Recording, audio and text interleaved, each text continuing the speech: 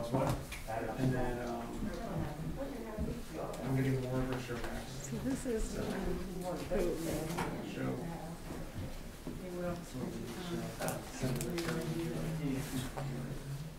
It's been eighteen years since this show. It's eighteen years. One more friend.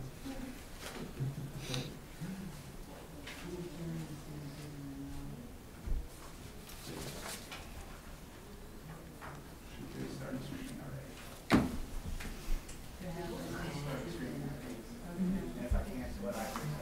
It's fine, we're just, just doing setup so that it can be comfortable. Let's just have five more minutes.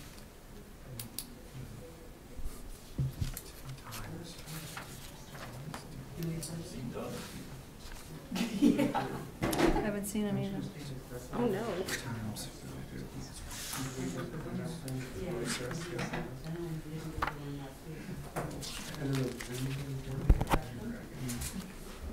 Yes. He's got five minutes.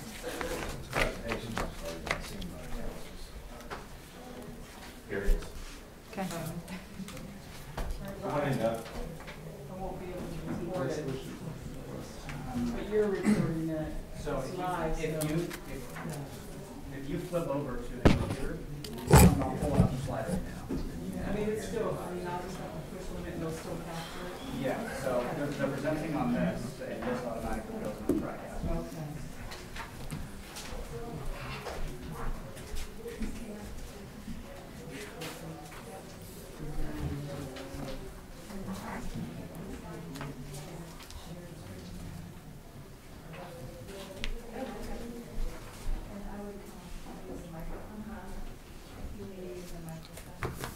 Uh,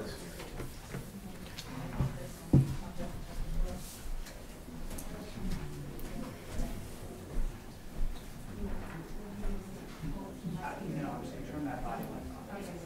Getting old sucks. I don't know what I did to like my shoulder, neck. The getting old stuff. Yeah. Like this never happened when I was in high school. Slept on something wrong and hurt myself.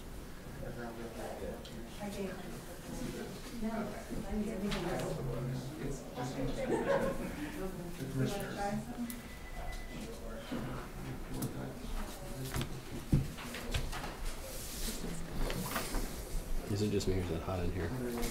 Oh, yeah, you think you're oh, like, Yeah, it does feel warm. It does. It does. Probably just because it's more people than we're, Yeah, maybe. Probably than we're allowed to have. more people. Was there a copy of the August minute? Am I missing them? Do I have them in my pile and I just buried them? There should be in this one, right? They're not, yeah, right here. Oh, okay, hold on, I buried them then. Yeah.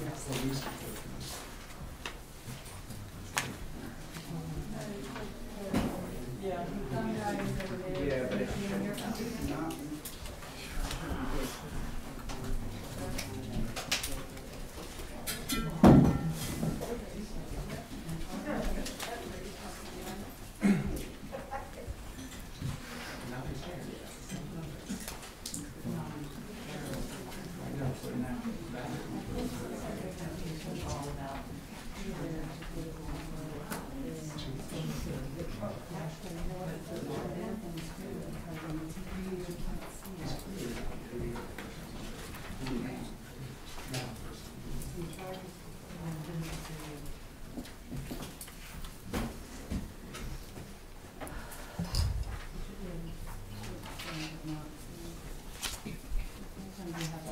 very good.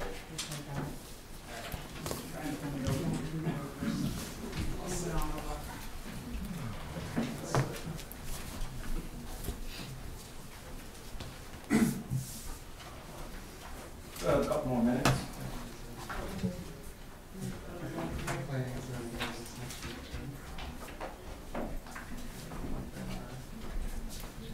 Is this technically a public hearing? Gilda had had to restart everything, so that's why. Oh, oh, good, good, good, good. Yeah, I wanna talk about that.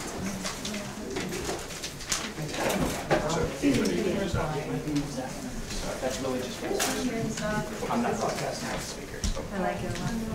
Yeah, they turned out really good. Yeah. And we went over it and over it and over, we still missed a couple, but we're gonna redo it. Yeah. It's very limited. I asked her to take that one out because I we wasn't here. There's a couple that she tried, but, you know, everybody was shooting things at her. and, uh,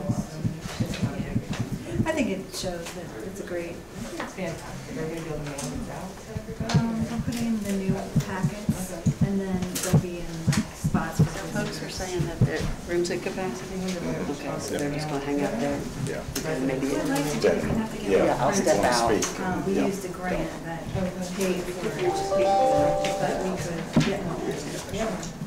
Could it be like added in like to the weekend somehow? Um, I'd have to start the. Like- Yeah, I'd have to kind of use It it would fit in a nice market by by seven envelope. Yeah. Where they could put a piece of tape on it, just get the, yeah. So what a great thing to have at your fingertips. Yeah, yeah, I would like to get more. It's a great, turned out really, really good. This is gonna be hard for. All set? people. Okay. All right, I've got 4 o'clock, so I'll call the uh, Monday, September 14th, 2020 Town Council meeting to order. And the first first order of business is the invocation and the pledge. All right, let us pray. Heavenly Father, Lord, we thank you for this beautiful day today, and thank you for the wonderful weather that we've had. Father, we pray for our country, especially those out west as they're dealing with the fires, and we pray for people down in Louisiana as they're getting ready to deal with another hurricane. Father, we pray for a very productive and hopefully wonderful meeting this evening, and all these things we pray in Jesus' name. Amen. Amen.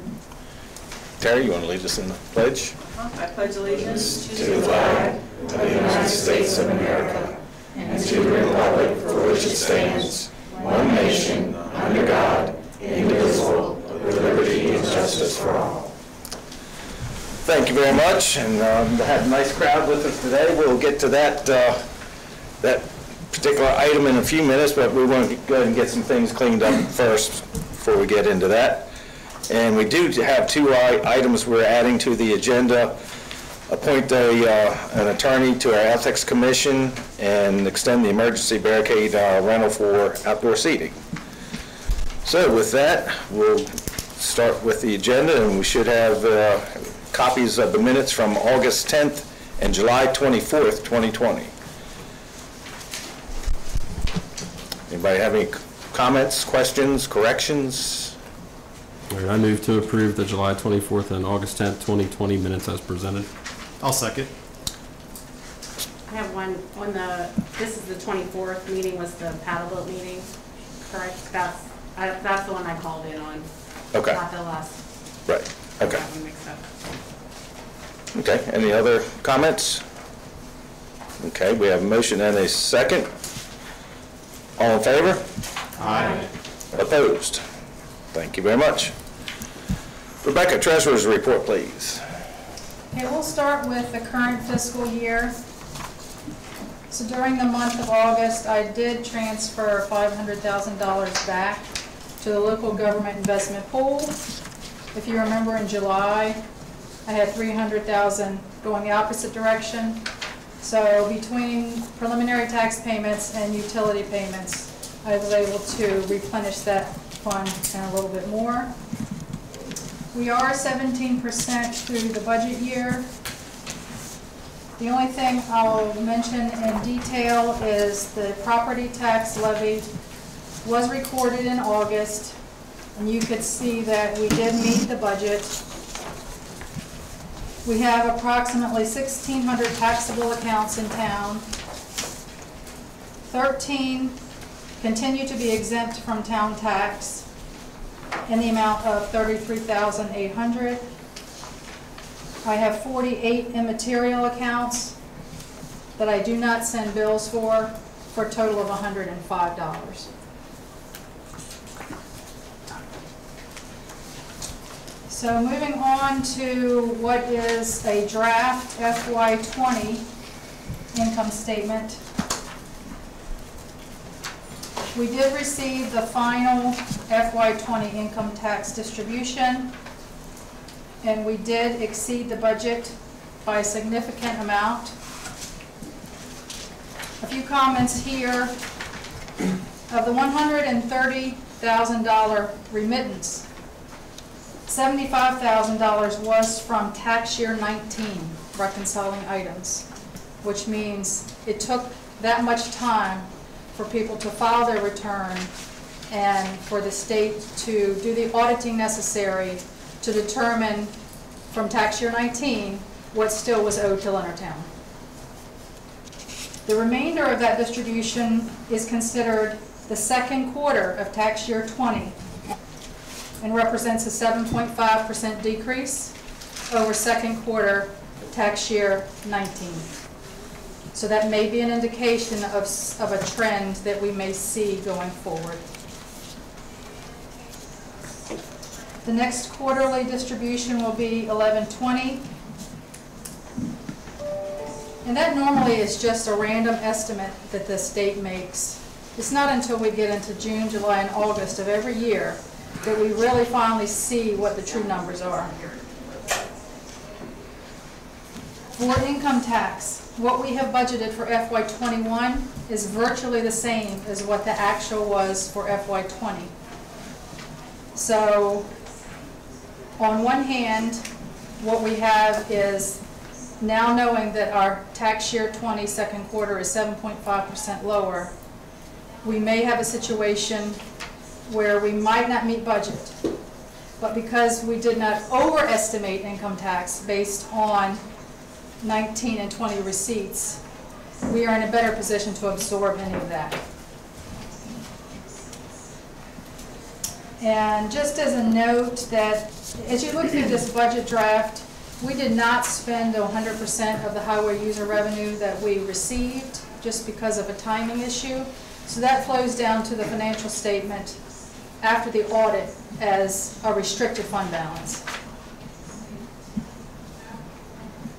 And that's it. And that's restricted because that's, we have to spend it on Road road maintenance. maintenance. Right. Any comments, questions for Rebecca? I have a question. So with the governor's um, order to not turn off and not, people not assume fees and things for not paying their water bills, no turn off, did that affect people not paying their water and sewer bills? Did, did that affect us? It has. Um, That order expired on September 1st. Right. And so, in the normal course of a quarter, September 1st would have been the time we sent um, reminder notices and shut-off notices. The language has been modified for every quarter so that we never threatened any shut-off because we weren't allowed to. This most recent reminder notice that was mailed last week indicated that the governor's order expired, that we're going to return to the procedure of late fees and interest charges. Um, The normal quarterly shut-off wouldn't be until December. So what that letter requested of customers who had past due balances all the way back from March of 2020, which actually covered October, November, and December service, so we're almost a year into the service, being in arrears, is that they needed to communicate as soon as possible with the office here and start making payment arrangements, which we intend to put in writing and start putting customers on a payment plan going forward. Obviously, if we have customers that don't communicate with us, we'll have to reevaluate and determine who would be subject to shut-off uh, at the end of December. But that's the, the process going forward. Okay. Um, The Public Service Commission, which we are not regulated by, gave specific directions to utilities about when they were uh, allowing shut-offs in the state of Maryland. Um, And actually, our schedule would be in compliance with their schedule. Um, It's, it's more lenient than their schedule. Thank you. You're welcome. But eventually, we will get paid for, you know, what, what is due the, the town. I'm not sure if we will, because we have tenant issues, and if tenants move, and then landlords may be forced to pay for the tenant. I I'm just not sure but we've got the tenant landlord agreements in place too, so, Technically, it's a a lien on the property. right. Okay, any other questions for Rebecca? Okay, thank you very much. Mm-hmm. Okay, planning and zoning, Jada? Sorry, I don't want to crowd the room. I'm going to come in soon, I have to say, and then leave. Uh, So planning and zoning met last on July 20th. They actually had a hefty agenda. They heard the MedStar St. Mary's County uh, generator project. Uh, That was uh, approved. Um, Then they heard the St. Mary's County Government Community Corrections Center facility. That was also approved. Then they heard the ordinance for Chapter 128, streets and sidewalks for small cell wireless facilities. They recommended um, uh, favorable to you guys, and you passed it. Uh, Ordinance 199, Chapter 155, zoning for small wireless facilities, they gave you a favorable recommendation, you approved it. Same thing with Ordinance 200, the amendment to the comprehensive land use plan. 201, the comprehensive plan for the zoning map amendment. 202, Chapter 155 zoning for assisted living. And ordinance number 203, Chapter 155 for open space and multifamily residential units in the PUD district. Uh, Those were all recommended to you favorably, and you approved all of them. Thank you very much. Um, We have one item on the agenda for the Monday, September the 21st meeting, and that's going to be Meadows at Town Run Phase 2. All they're asking for is approval of the plats that have already been approved. Do you have any questions? Beautiful. Thank you very much.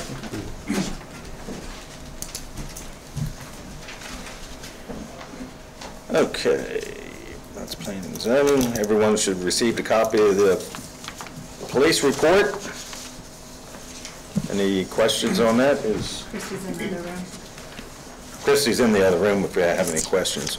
I did notice one thing, uh, that we've got concerns about speeding, and I I can't find her report right now, but I know she, uh, how many stops did they, uh, did they have for speeding?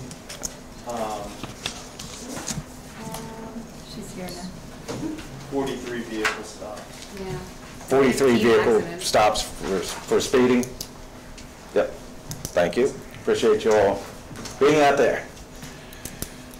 Any other questions for Kristi or comments?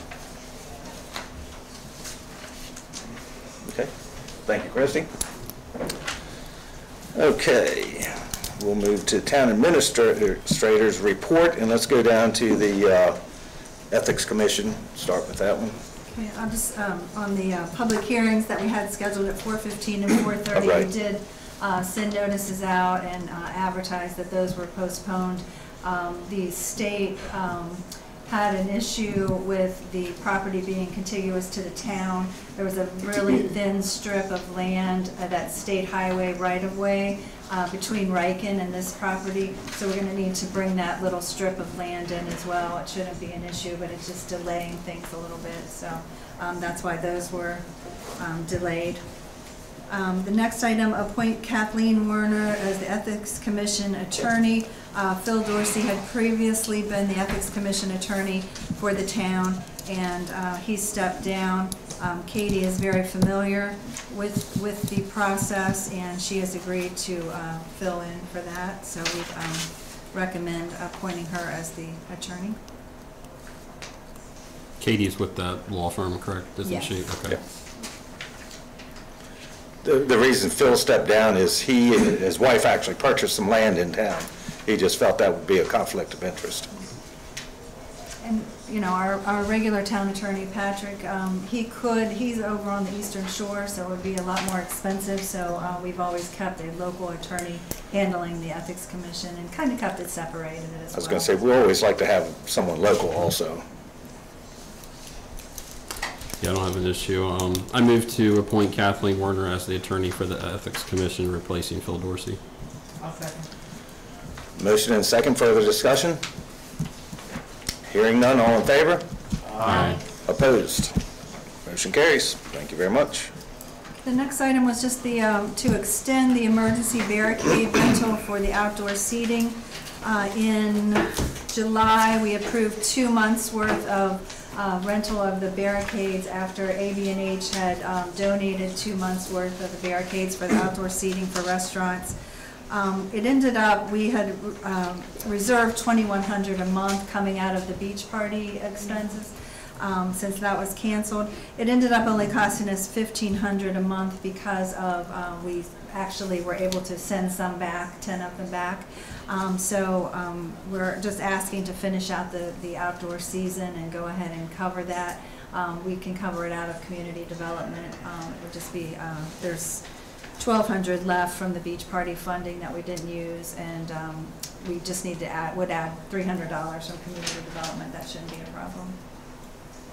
And that would finish us till October? Yeah, until October 24th, so that's probably going to be about as long as, The weather's gonna be, uh, It's getting chilly, I yeah. was sitting outside the Yeah. night. Yeah. A little chilly. so we would just need a motion on that to extend that for one more month. Do we have any liability issues with us providing the barriers, just in case somebody runs through it? No, I mean, I mean, that's, that would be Right, covered by, covered by the if we, if we were sued, we, we we would be covered under our policies. I was just gonna say, the outdoor seating's been very popular. very. Um, I know, I, I myself enjoy it, we go out, it's, it's very nice, so it's been very beneficial to all the local businesses. very Yeah. appreciative. Yep.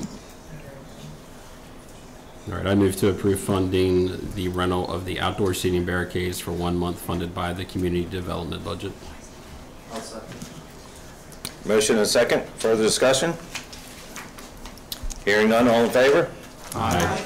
Opposed? Motion carries. Thank you. Just the last thing is just kind of an update on some grant uh, activity. We've been really busy. Um, Of course, we have the paddle wheel grant for a hundred thousand. Um, We received an emergency grant from the Maryland State Arts Council for th- additional three thousand dollars for virtual programming, so we'll be able to continue that. Uh, We also, as you know, received one hundred and seventy-five thousand for phase two of the boat slips. Um, We have recently received um, St. Mary's County Arts Council grants um, for a beach party and the concerts, which are, they allowed us to go ahead and use, even though we didn't have the events for virtual programming and for the music festival that's going to be this weekend. Um, We uh, were, we received a five thousand, or I'm sorry, we submitted a uh, five thousand dollar grant for the Maryland uh, State Arts Council for planning for the alleyway art for L-Town Alley. And then later we can, uh, uh, once we have a plan in place, we can apply for another twenty thousand in uh, implementation for the artwork portion. And I've been uh, working with um, the owners in the alleyway network and coming up with a plan and getting prices. We submitted a community parks and playground um, grant for two hundred and twenty-five thousand uh, this last month for part of those alleyway improvements. And the other portion, uh, there's about hundred and twenty-five thousand left that we will be submitting a community legacy grant for each grant has requirements of what can be funded and what can't, so we broke them out according to what would be allowed in each grant. So then we'll, um, depending on what we get, um, then we can circle back and see, you know, prioritize. And um, the council also had budgeted some money to go toward that as well. And some of it is um, streets and roads, and we had um, put that as well. And the last thing is the uh, facade improvement grant. We're wrapping up the first one, which was fifty thousand dollars. We have a, a couple more businesses to finish that up. It got delayed with COVID. Um, We received twenty-five thousand dollars this last round of community legacy money. I just last week finalized the applications and uh, the program. We just kept it the same, five thousand dollars with a mat, five thousand dollar match is, is the maximum. Um, I reached back out to the committee, and uh, everyone so far has agreed uh, to stay on the committee. So we'll be uh, working on that. um, And then um, I guess the conversation we would need to have is if we want to try to continue it year after year. Um, It has been very popular. I know there's a couple projects that are waiting in the wings to, and plus with people seeing what was able to be done, I think, um, you know, I would like to continue doing it. And just for clarification, these grants are actually coming from the state. It's not the town money that's going into these projects, so. Okay, that's all I had. Okay. So that brings us to item C, the purchase of Black Black Eyed Susan paddle boat discussion and decision. You want to give us some background there? Okay, so at the uh, July 24th meeting, the council um, appro- approved us moving forward with the purchase and sale agreement to do our due diligence to, to look at purchasing the boat. Um, We formed a committee. Um, Doug Islip is here today. He's going to do a PowerPoint presentation of uh, the findings from the committee. I forwarded you um, probably over 100 um, letters of support and against. Um, And uh, up until 3:30 today, we were still receiving them. All, you have copies of everything at this point. Um, We have until tomorrow, the contract expires. Um, So um, we did receive the $100,000 Maryland Heritage Areas uh, grant to go toward the purchase. I'm going to let Doug go through the PowerPoint, and then um, we can answer questions from there.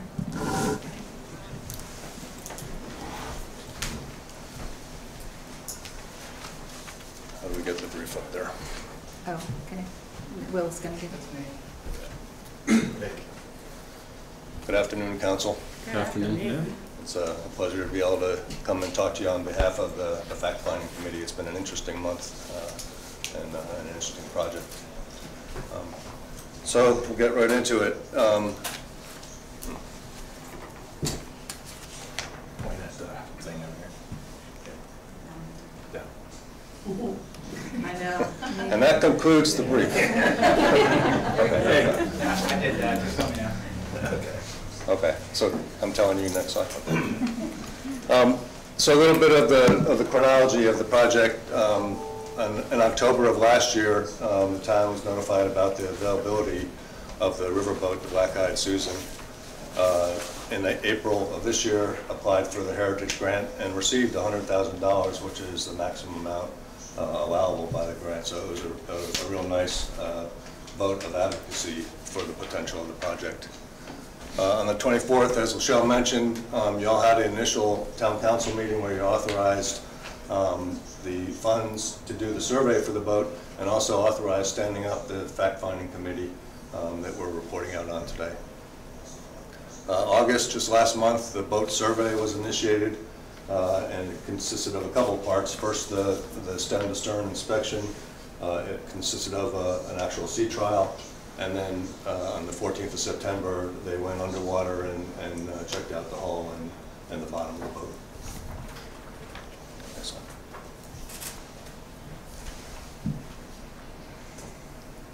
Okay, a little bit about the boat. Um, Those are pictures of the actual boat. Uh, It can hold 149 passengers, uh, built in 1986. Uh, And then in 2003, it went in for a a refurb and actually uh, had a plug put in and and expanded uh, by 30 feet from 87 feet to 111 feet. Um, It's capable uh, and and would be used both for dockside events and for cruise type events from the wharf if if uh, if used. And of significant importance for for the water here, um, the boat only draws four feet, so so it is, uh, it would work uh, in the new, uh, the new section of the pier. Okay. Okay, the, the inside of the boat, um, the, has two decks. The, the picture on the lower left is the main deck.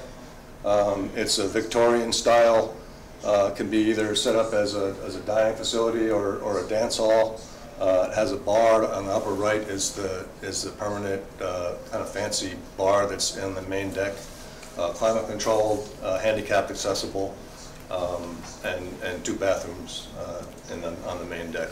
So it's a nice, it's a nice looking restaurant, also would be a, a pretty cool looking dance hall. Um, The lower middle picture is, is the upper deck, and this is where passengers would take advantage of, of actually cruising and being out on the water.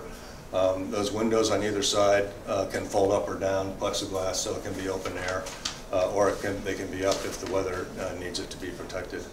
And then on the right side in the middle is a picture of the kitchen. It's got a, a pretty capable kitchen uh, with commercial uh, stove, uh, refrigerator, and, and sinks. So, so able to not just bring food in, but actually do some food preparation uh, on the boat. Okay? So the boat, survey that was conducted uh, in August, um, they did a, a real thorough look, stem to stern, looking for everything from cosmetic uh, issues to, to structural issues. Um, and they did a sea trial. The, the boat is actually powered by those paddle wheels, so uh, no, no screws or anything underneath. That's, that's uh, how, uh, what it used for propulsion, and, uh, and they, they took it out and, and took it for a spin. Um, The dockside results um, overall looks uh, like it's sound structurally uh, and mechanically. Uh, There is some work that would need to be done, and, and in fact, you'll see in the budget numbers that we put forward, um, uh, there's work that, that could be done initially, there's work that could be done over a few years. Um, What our recommendation is, is, is do uh, a preponderance of the work first thing, early on, so that the first time anybody comes on that boat, um, they're wowed by it. They say, this is a, you know, this is a beautiful uh, boat, and it's something that I'd want to come back to again. Um, So that's, that's, uh, we put dollars in the budget to do that. Um, The dive and the bottom inspection was done uh, earlier this month, and, uh, and the- with good results. Uh, the- The coating looked good, and the metal thickness was good.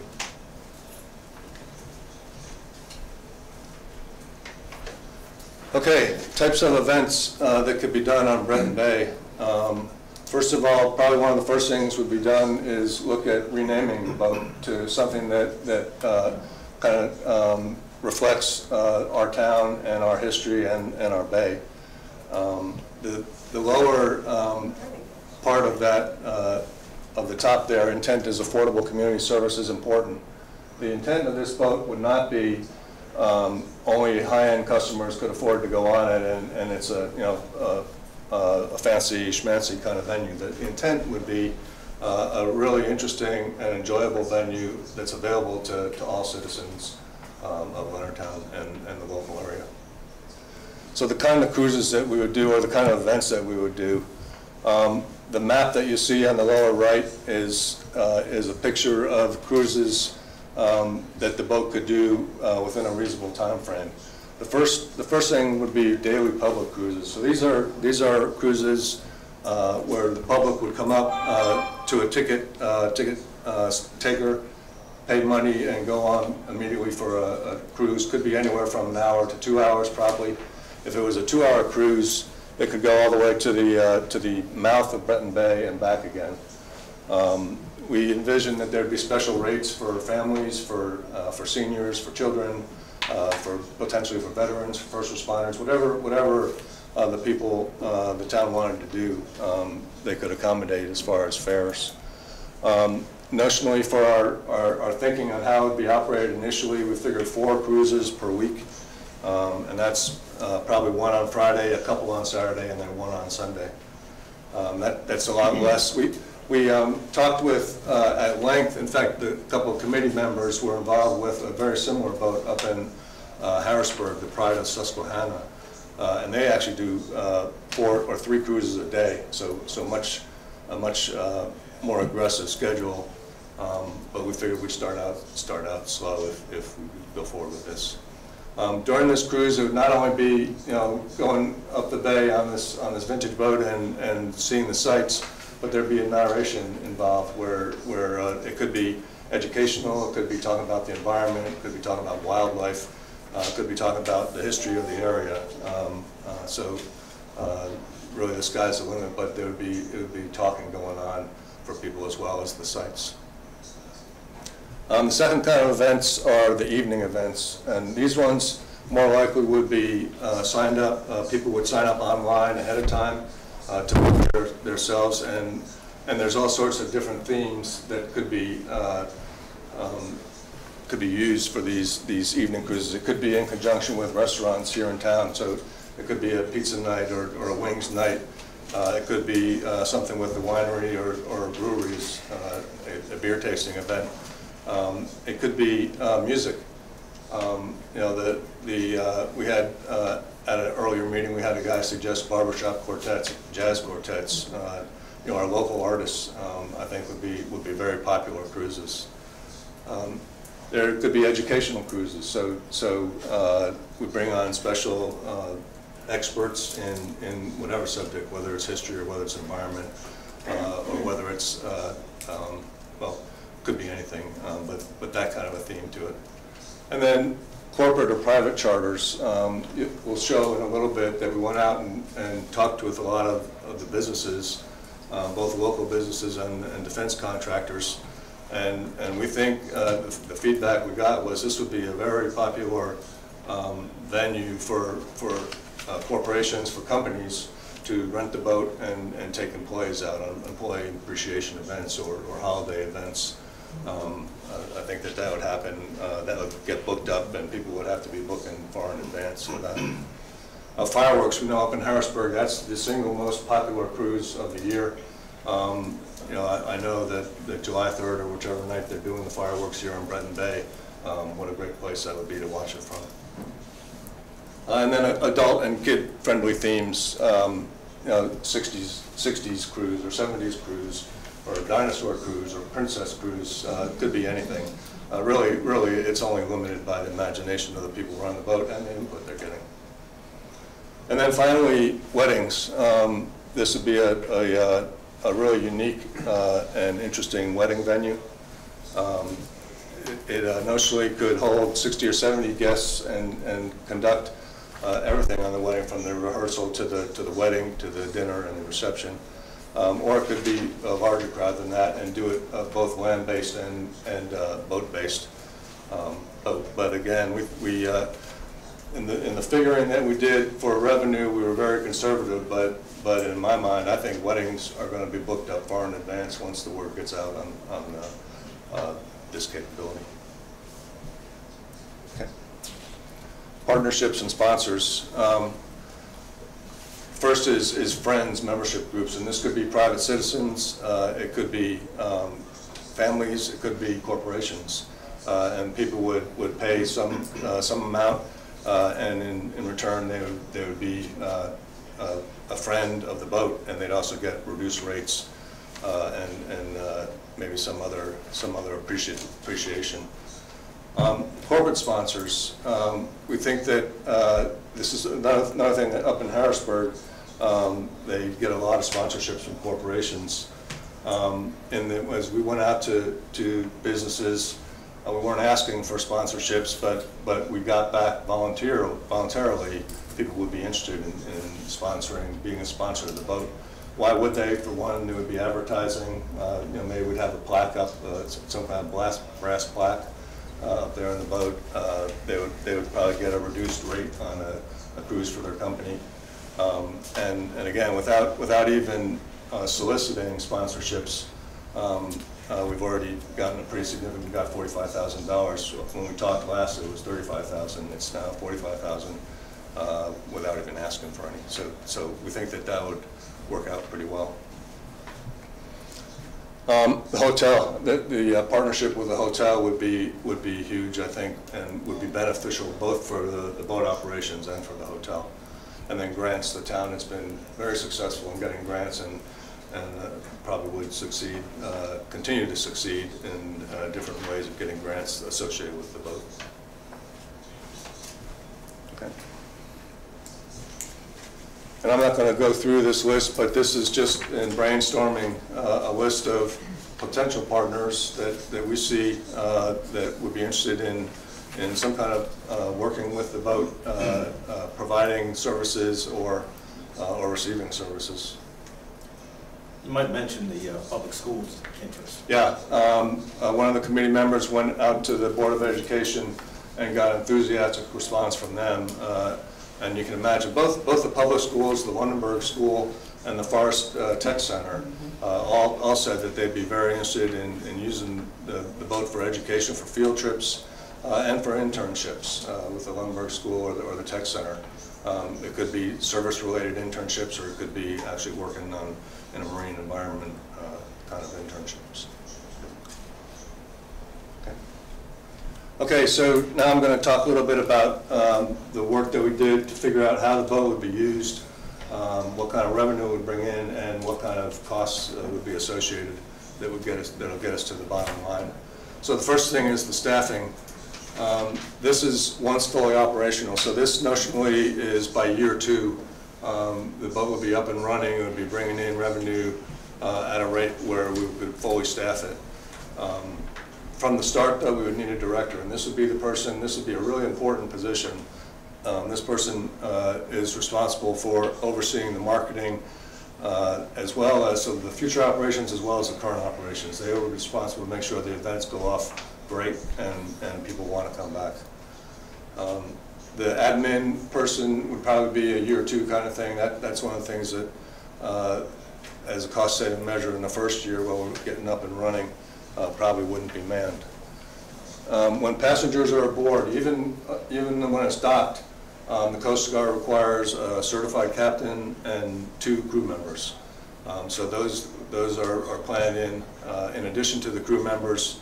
Um, The crew members would have two, two purposes, the primary being manning the boat and, and uh, doing what's required, but they could also uh, be providing some of the service. There would probably be additional servers, uh, on, depending on what the event was. Um, the Part-time positions, the, the marketer would be really important uh, if, to the continued growth and success of this boat. And then accountant and interns that I mentioned. And then depending on the event, bartenders, kitchen staff, uh, maintenance folks, uh, handyman, and off-season crew. Okay. So outreach response, um, we went out uh, a couple different ways, uh, talking to people who might be interested. The first was to the local businesses. Um, We had uh, a phone call with, uh, with the local business, Leonardtown Business Association last week, uh, and actually went through this brief, told them all about it, and, and had a lot of interest. Um, uh, uh, Several of the restaurants and and venues um, uh, piped up in the meeting and said, yep, they would use the- this boat, uh, and they could see uh, a lot of mutual benefit.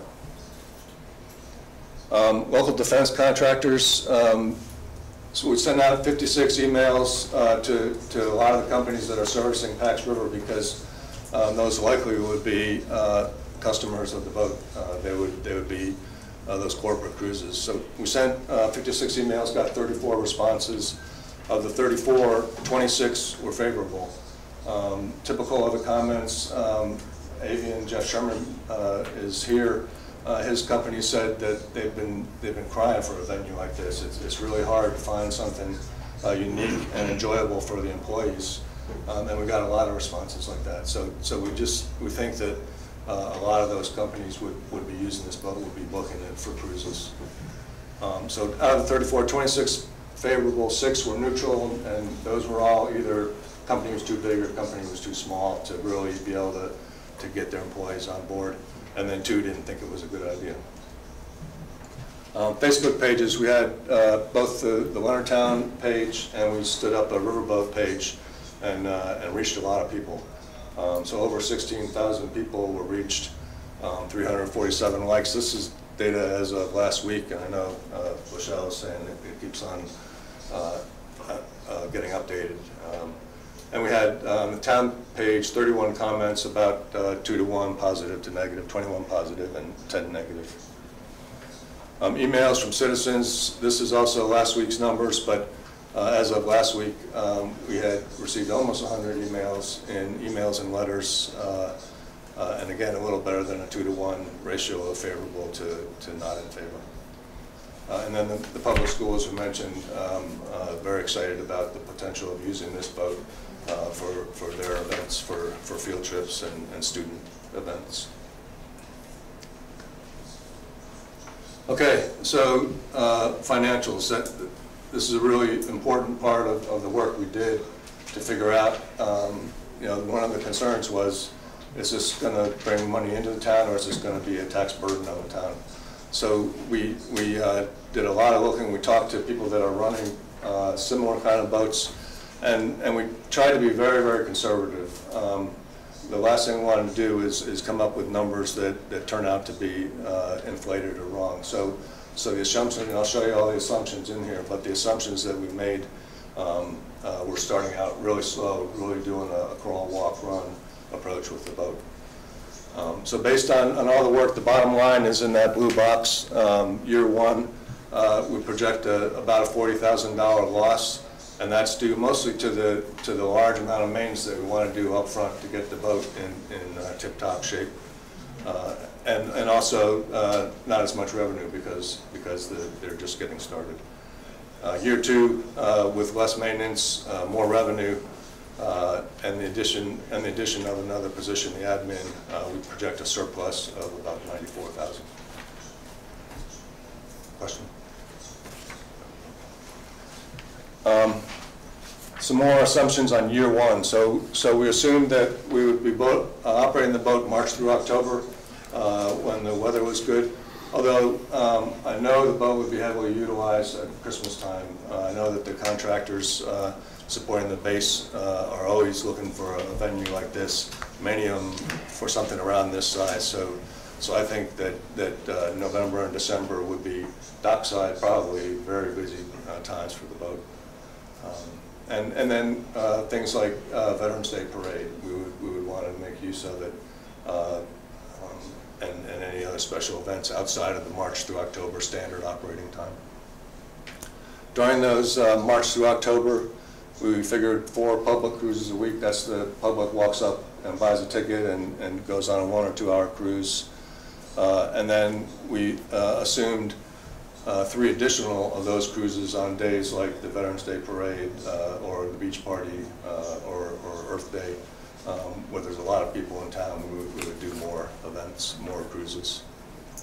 Uh, dinner theme events, so that's the, uh, in conjunction with restaurants or, or uh, winery or, or uh, you know, 70s disco night or, or whatever. Um, uh, we figured one of them per week, and that's, that's where people sign up uh, ahead of time online.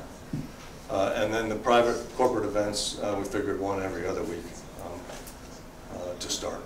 And weddings, we also figured one every other week in year one. Okay.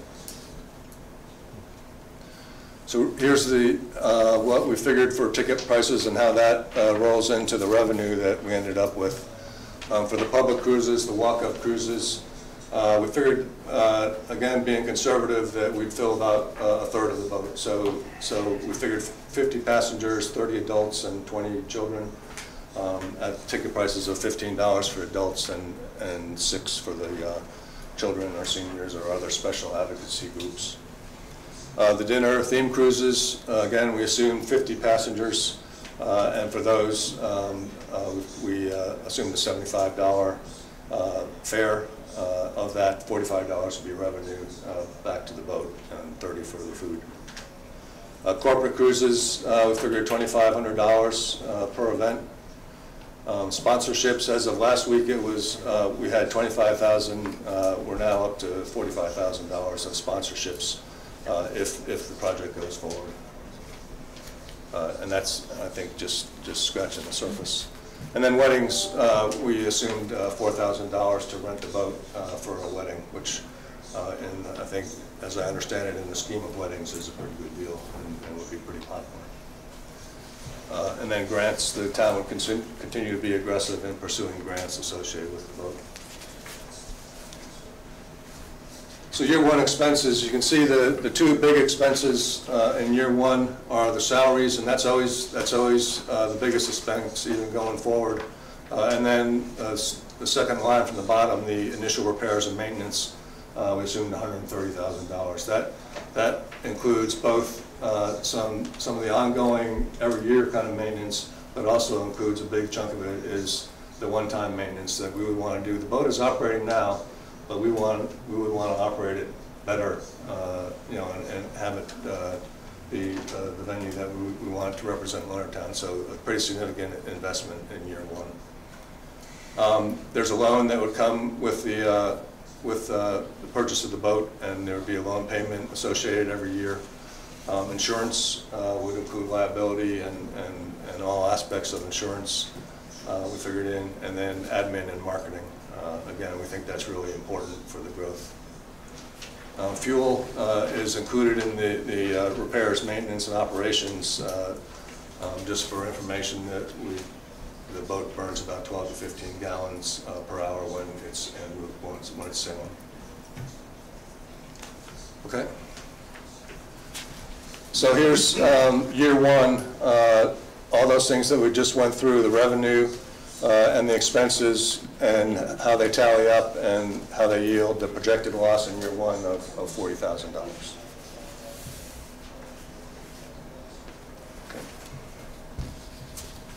Okay, year two, this gets easier. Um, A lot of the same assumptions, the only differences are in red. Um, We would assume in the uh, June through September, the prime operating months, um, we we could probably bump up the the dinner and theme events to two per week. Uh, And we assume by then uh, that we would uh, probably be booking weddings every week during those months. Okay. Year two revenue, uh, nothing changed. Um, uh, We uh, aren't going to bump up prices once we, you know, get people hooked or anything. Um, The sponsorships, again, that number is low, uh, and, uh, you know, how high it would be, I'm not sure, but I know it'd be more than that. Okay, next. Year two expenses, the only two changes there is, is year two is where we would add the administrator, uh, the person running the, the website, taking tickets and doing the admin for the, uh, for the boat. Uh, and also the maintenance and operating would, would start to go down. That, this is also a heavy investment year. Um, the, the end state, uh, once we get into running, we think would be fifty to seventy-five thousand dollars a year uh, to maintain and, and operate the boat. So this is a little bit high in year two also as, as we continue to get the initial work done. Next slide. So here's year two financials, um, and the, the big difference is uh, a little bit more revenue associated with the, the dinner theme cruises and the weddings, uh, a little bit more uh, expense with the salary with the addition of the person, a little bit less expense with the maintenance. Um, But overall, that yields uh, projected surplus uh, money back to the boat slash the town of $94,000. Um, And then, uh, you know, we, that's all we did was two years. Um, We think that, that it would uh, continue like that, or probably better, as the, as the maintenance operating costs go down and as the boat becomes uh, more renowned, more popular. Okay, infrastructure required. Um, Several things that, that would need to happen. The first is, is the slip. Um, As Laschelle mentioned, um, the grant was received and the, the plans are, are being laid for uh, the section, this next section of the slip. Um, On the picture in the bottom, that the the horizontal to the shore section of the slip is phase two, uh, and the, and the white box is, uh, is where the boat would be moored, and that's the approximate size of the boat. Um, Utilities hookup is included in, in that uh, um, building of, of the second phase of the slips. Um, Vehicle parking is, is an important one and a big one. Um, the- There's currently 60 spaces down at the wharf. Obviously, a, a full cruise ship could fill up those 60 spaces and more. And, and number one, not have enough room for even people on the boat, let alone not having room for everyone else that wants to use the, the wharf. So we know that, that something would have to be done. Um, We believe that, that uh, setting up a trolley um, as part of this project uh, would be the answer. There's, there's a thousand uh, or so spaces available in, in downtown Leonardtown at night and on the weekends. Um, And the trolley would, would, uh, you know, I, I think that probably there would be some spaces that would just stay uh, cordoned off, not to be used by the boat, but, but to be used by paddleboarders and kayakers and and playground goers. Um, And the, and the trolley would, would both bring boat customers down, but also be bringing people up and down from the town to the wharf, and, and I think would be uh, a real benefit and, and really the start of, of the next phase of, of the strategic plan that y'all have put in place of, of using the waterfront of Leonardtown more and more. Um, Catering partners, uh, we talked to, to a number of, of caterers and restaurants, and, and I think um, that, that we would have uh, lots of participation from, from folks like that wanting to, to uh, operate in partnership with, with the boat. Um, Compatibility with other users, that some of the, the comments on, on Facebook, that was one of the concerns, is, is this gonna uh, crowd out the, the people that are using the wharf now?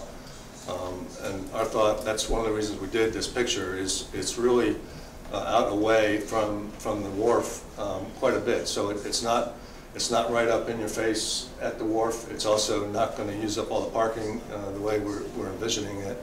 Uh, And and it is not going to obstruct people's access in and out of the wharf on on paddleboards or or kayaks. Uh, Liquor license would be something important revenue-wise. Um, We wouldn't have to have, the town wouldn't have to have a liquor license associated with it, but uh, it's, it would certainly bring in uh, significant revenue rather than having the restaurants or the, or the caterers uh, use their liquor license. It would probably be a combination, some combination of the two. And then safety and security considerations, we need to make sure uh, both that passengers are safe, that that getting out to the boat and getting onto the boat. Uh, It is handicap accessible on, on the main deck, um, but, but that would all be done safely. And also that the boat is, is kept secure, that, that there's provisions in place to make sure that there's no one messing, no one's messing with the boat that shouldn't be. Okay. So how would this boat be run? Um, Really, there's three ways, and, and we talked to a, a, a bunch of different organizations that are running uh, enterprises like this.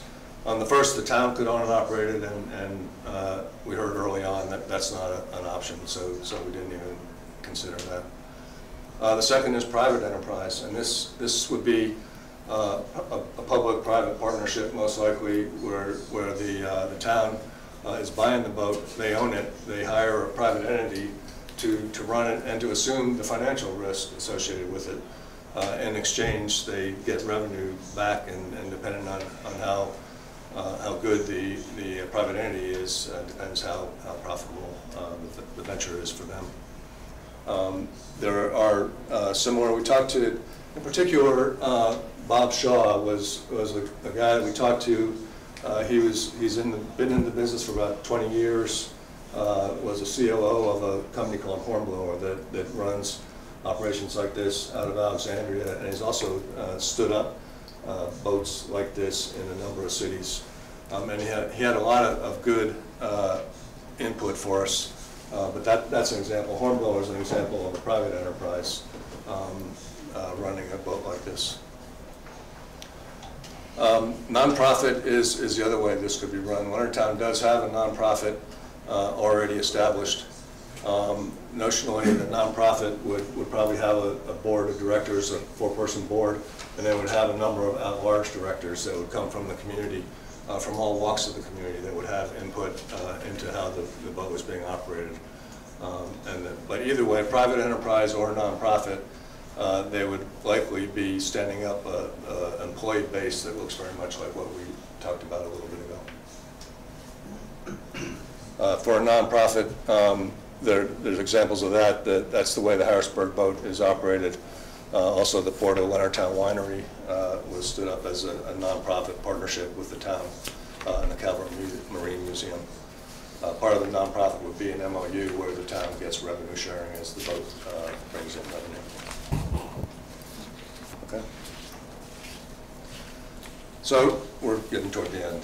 Uh, These slides are, are, uh, are are the risks and the opportunities that, that we have heard from and, and wanted to, to try to address. Um, The first one uh, is, is uh, revenue doesn't co- cover costs, that, that the town would be a money sink, the town would cost the taxpayers money. Um, And that's, that's why we did the, uh, the pretty deep and extensive look at, at revenue versus costs and, and tried to establish uh, very conservatively what we think that uh, it would cost and what, and what kind of revenue it would bring in. Uh, And as, as we talked, um, we're showing probably the first year there would be uh, a cost associated, and then that would be made up, the, the guy that I mentioned, Bob Shaw from Hornblower, uh, his, his- thinking, uh, he, that's, before we even did the numbers, he said, year one, you're gonna lose money. Uh, Year two, uh, you may break even or, or not, and then year three and out, you're gonna start making money and you'll make up uh, pretty quickly what you lost in the, in the early, early year. Um, So, so we believe uh, that the boat is, is going to bring revenue into the town, not, not uh, take revenue away from the taxpayers. Uh, Wharf infrastructure, we've talked about. Um, We think that the- with the addition of the second phase of the pier, that, that the boat will fit in nicely down there. And, and not only not be a detriment, but it would, it would be, uh, you know, just a, a nice addition to, to the historical, uh, when you look back at, at, in the turn of the century, uh, steamboats and power boats were a big part of, of Leonardtown and Breton Bay here, and it would, it would kind of bring back that era. Specialized workforce not available, so there are some, some specialized requirements, particularly the captains, uh, and, and to a lesser extent, the crew members. Um, Captains, uh, what we figured out pretty early on is not going to be an issue. We- We've already uh, had, uh, you know, unsolicited, uh, been approached by, by at least three captains saying they'd be interested in, uh, in being the captain or an hourly captain for the boat. Um, The, the, uh, the crew members um, would likely not be hard to find, and, and as far as running the rest of the boat, it'd be, it'd be like running a a restaurant or something similar. Um, Unforeseen costs associated with the boat, we, we were very mindful of that. Um, The, the survey that we did for the boat was done uh, by, by a company with a lot of expertise, uh, and also we was directed, uh, look hard, you know, be conservative, make sure that you leave no stone unturned, and, and give us your worst case scenario, and that's what we plugged in. Um, So, so we think that we've, we've uh, done as much as we could, uh, working on this study to, to uh, account for the potential costs. And we talked um, about the future too. There would be costs uh, down the road as the, a boat like this needs to be refurbed uh, every, I think, three or four years. Um, So one of the things that we'll be doing with the revenue initially uh, is building up a, a fund, uh, the rainy day fund, that would, that would, so that any uh, big expenses that came up would be covered. Uh, COVID impacts the plan, um, that was, that was something that we heard. Um, We think that, that this is actually uh, a couple of things. One, it, it wouldn't be operating this year. We would get it in, we'd be doing the maintenance, uh, and, and so uh, no operations this year uh, while we're still uh, certainly in the middle of, of the impacts of, of COVID. Um, Next year, we would plan to start operating. Uh, Don't know what's, what the restrictions are going to be, but a couple things. One, the, the outdoor nature of this lends itself to, this could be an outdoor, outdoor activity at a reduced, you know, number of people um, that would, that would be a good thing for people to do if we're still under restrictions. Um, The other thing about COVID is, is that we, we see this as, as a positive, uh, positive momentum for the town. We know that, that the town's businesses are, are suffering uh, badly, and, and we think that the- this could be something that helps both the boat and the clientele that brings, and also the trolley, bringing people up and down. We just think, uh, and we heard this from the businesses uh, uh, when we talked to them also, that, that they agree uh, that, that this would be a good, a good uh, potential help for them. And the last one, uh, one of the questions that we were asked was, uh, what if, what if all this is wrong? And, and the boat, uh, you know, is, is a heap, or doesn't, no one ever comes on the boat and it's a money loser? Um, What's the exit strategy? That's another thing that we talked about with, with Bob Shaw, the guy from, from Hornblower, and got some good confidence that, one thing we know is there's, there's uh, other municipalities lined up to buy this boat if, if we decide, if you all decide no, um, then, then there's already people that, that want to buy the boat. So uh, we learned that there, there is a market for the boat, we think, with the hundred thousand dollar grant um, that we received. um, That, that would be uh, money that we would have, you know, already in, in, uh, invested in the boat that wouldn't have to be paid back. Um, So there is an exit strategy that if it, did- if it didn't work out, that we could have some confidence in, we think. Okay. Opportunities. Um, Tourism, brand, visual appeal. I- We just think that, that this could truly be, uh, when people think of Leonardtown, uh, or when they see uh, a brochure on Leonardtown, they see this, this riverboat. Um, it- We just think that it could really contribute to the, the brand of, of Leonardtown. Um, We think it could provide uh, educational benefits, we think it could provide environmental. One of the inputs that we got from one of the companies is, is make this uh, uh, environmentally uh, a project. You know, figure out how to operate this boat um, more clean, uh, maybe have contests uh, to, to figure out how to, to be cleaner, to be education friendly, environmentally. Um, we think that, uh, that the boat would attract more people down to the, to the waterfront, and that, that is certainly something that, that you all hear, uh, I think, from, from citizens uh, as we do surveys and stuff, that, uh, that people want a reason and want something to do that has to do with the water if they live in Leonardtown. Um, we believe that, that this would provide positive cash flow uh, after, after year one, um, uh, certainly after year two. Um, from outside the area as well as from, from local citizens. Uh, it would strengthen partnerships with, with all those potential partners that we, we uh, listed and that we have talked to a vast majority of them and, and got a lot of uh, excitement. Um, positive impact on local businesses, I think that's, that's really important and I think that that, uh, that, that would happen. Uh, increased water access, we talked about um, potential income streams. So this uh, you know, if it works out like, like we believe it will, and, and I keep on saying it, but, but our assumptions, we think we're very conservative, uh, this would not be a tax burden to the town, it would be tax revenue to the town. That could be used however you all decide to use it, whether it's investments in the, in the wharf uh, or, or whatever. Uh, and then finally, this begins implementation of the, of the waterfront plan that, that's an approved uh, document. So this, this slide is from the waterfront plan, and uh, we think that, that the boat, um, as, as it's being envisioned, meets the recommendation both of the strategic plan from, from a year and a half ago and the waterfront plan from 2012. Okay, so two more slides. Um, Conclusion. Um, The, the black-eyed Susan, or the Belle of Breton Bay, or whatever it's going to be called, gives back. That, that is important. We, we, we see this as a, as a citizen-friendly, community-friendly endeavor that's going to, that's going to give back uh, to the community, um, both economically, uh, it's going to, it's going to be an important icon uh, in revenue from the, all the things that we talked about, uh, and tourism, both, both direct people paying to go on the boat, and also people paying to go to the businesses in town because they were down visiting the boat.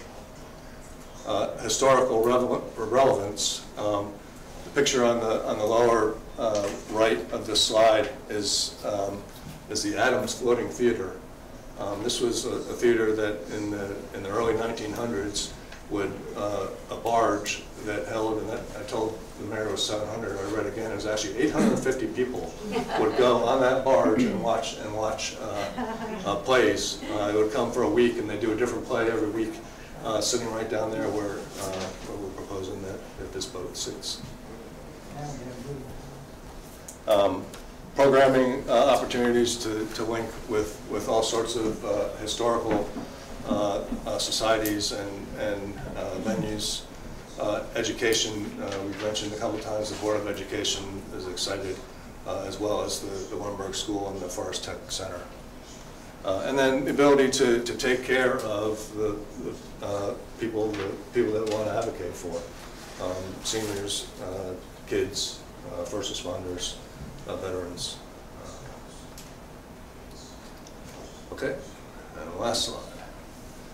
Summary. So, so we, um, the, the fact finding committee uh, was, I think, 11 people with, with really uh, wide ranging and relevant expertise. We really had, uh, I think, a good thorough look at, at uh, examples that are relevant to the way this boat will be operated on uh, and, and did a, a good look at, at uh, how this boat would be operated and, the, and uh, what that would mean financially.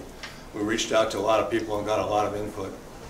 Um, the conservative business case and financials uh, show that the boat would be an eco economic catalyst for the town uh, in year two and beyond. Um, with the addition of the parking shuttle, which, which you can't overemphasize how important that is, both for the boat and for the town, I think. Uh, it fits in really nicely with the current usage of the wharf area and the planned growth for the wharf area. Uh, and then, and then Mile Apple Pie, the, the boat just contributes to, to the vision of downtown as a charming, historic uh, town that it is. Uh, We think that that the time uh, is uniquely uh, now, both with the grant received, the availability of the boat that that we uh, got first in line for, uh, and and the work that we've done. Uh, Blathered on enough, okay? Thank you, Doug.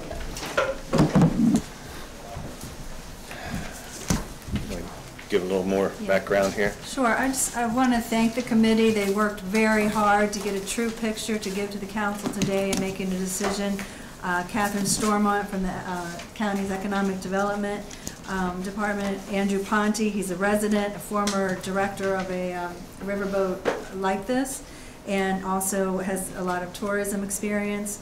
Wynn Briscoe from the Small Business Development uh, Commission, Eric Surjanic, who is a uh, captain of the uh, Pride of Susquehanna. He, he came down here a number of times from Harrisburg and was very um, invaluable for his, his expertise. Doug, uh, he put a ton of hours of working uh, into this. Um, John Fleury, uh, commercial real estate. Matt Vilbus, he's a 200-ton boat captain. He also has a wealth of experience in uh, running boats, and uh, he has his own marine services uh, company. He did an extensive survey on the boat and uh, was able to provide us um, the, um, the overview of the costs that he thinks would be needed over the next five years. And then Mary and Larry Ludwig, who are here with us today, just as residents. Uh, Mary Slade and uh, Dan Burris and myself, we, we worked with the committee, but they did a, a really great job, and none of them have a vested financial interest. I saw that comment. There's no one on the committee that had any financial gain from this. Um, it- They did it as a volunteer of their own time. And I just wanted to reiterate a couple of the answers to questions because they come up over and over again, and so it might help um, save some time on audience questions. Parking, we heard that a lot. Doug talked about it a lot. It can't be addressed on site. We've known that since 2002 when we started the, the waterfront development. We know that a shuttle is imperative. We have a thousand spaces in town that are available night and uh, weekends and holidays. And uh, running that shuttle will, will not only benefit this boat, but also the other businesses, as well as the businesses in the north part of town at the shopping centers and um, the winery. Uh, we have boats come in all the time that need to get to uh, get groceries and things, and so they could utilize us as well. Um, that it's a money pit. I think the, the committee has been very conservative with their estimates for their usage as well as the fees. We really tried to, to dig into this with different um, real life examples. The um, Hornblower um, COO, he was very helpful in looking at our numbers and seeing if we were being uh, reasonable, and he thought we were being very conservative. Um, additionally, the extensive surveys and uh, work that we did to find out the condition of the boat. We do show the loss in the beginning of the, uh, the first year, um, but even considering um, over $200,000 putting back in the boat, we do realize, um, think that there will be a profit in this, starting the second year. Um, the options for operating the boat, there are three different ways we can go. It doesn't have to be decided tonight. Um, the town does not really want to operate it itself. Um, we have the opportunity to purchase the boat. We can put it out an RFP, and then we can come back to you with how we want to do it, whether it's through a nonprofit or through a private entity. There would be agreements and MOUs that would be um, drawn up to say how those funds would be um, allocated as a profit would be shown. And then the exit strategy, uh, we have immediately have a hundred thousand in equity, uh, upon purchase of the boat. And, um, we have also talked with, um, um, the hornblower gentleman, he called some different, um, consultants. And we feel like maybe a year to sell the boat would be a reasonable time frame. Within that time frame, if the only real costs that you would have would be the, the loan payment and the insurance if you weren't operating it while it's for sale. And that would be about twenty-four thousand a year. Um, so it's not that you have to be putting out hundreds of thousands of dollars if you really are looking to sell it. Um, I did pass on to the council all correspondence, emails, phone calls, um, up until about three forty-five today. You had some at the table today. I emailed you a lot today. Um, at the last minute, we received the, um, letter from the state uh, tourism uh, in support and the LBA. The LBA letter had um, all the different correspondence that included on the second and third pages of the different businesses, uh, in addition to the ones that I had sent you uh, previously. Um, So hopefully that answers a lot of the questions. Yeah, got it. Um, Do you want to read this one? Yeah. Okay. Um, So this is the one from the uh, Maryland um, Tourism, Department of Commerce, the Tourism Department. On behalf of the Maryland Department of Cor- Commerce, or Office of Tourism and Film, I wish to convey my support for the Leonardtown Wharf paddle boat, wheel- paddle wheel boat project. The state of Maryland has demonstrated strong commitment over the years to the promotion of Maryland tourism and its associated impacts on job creation, revenues, and local business development. The paddle wheel boat project will promote the Leonardtown waterfront's history and culture, support local businesses, the growing arts community, and will strengthen the positive momentum that's already transforming your town. The events held on the paddle wheel boat are expected to attract a wide variety of visitors who have the ability to sig- significantly impact the local and state economy with increased day trips and overnight stays. I am pleased to support this project for the town of Leonardtown and look forward to expanding our marketing and promotional partnerships to include the paddle wheel boat and its relative, related events and activities. Projects such as this have the opportunity to transform the area into a more authentic and prosperous community. And that's uh, from Liz Fitzsimmons, um, Managing Director of the Office of Tourism. And, you know, I think that's important, you know, she's talking about the partnerships and the marketing. That's, that's gonna be a- marketing to people outside of the St. Mary's County area. And the state's willing to help us with that, so I think that's huge there. Uh, Just wanna kind of mention about the sponsors, the people that have stepped up, and my wife and I are one of those. We, uh, through our insurance agency, we are putting up twenty-five thousand dollars as a donation slash sponsorship if, if, if the council goes through with this. After I announced that, we've had four, three other people step up. Um, Mike Mulmall stepped up with five thousand dollars. Um, Colonel Rich Richardson stepped up with five thousand. And then, uh, just uh, earlier today, we got an email from, uh, um, John Fleury saying he and his wife put up ten thousand. So we've got the forty-five thousand, that's where the forty-five thousand, excuse me, is coming from. And that's not a loan or it's not a partnership, it's just a donation as a sponsor. So just want to make that clear. Um, Other thing, I, I did talk to uh, uh, Gary Bell the other day and with the fire department. And, you know, I can see this, once this is up and running, this could be a fundraising event for the fire and rescue squad. So, you know, we're, we're looking at that also. So, I mean, look at the big picture. So, Okay. We do have 12 people on Zoom, um, and a participating audience. Okay, and yeah, would any audience like to come up and make some comments? Sure. For the record, just name, put your name and address. Uh, uh, Councilman uh, Francisco Fernandez, lived in Irontown for 14 years. Um, I learned about that recently, I don't have Facebook, so that's my fault.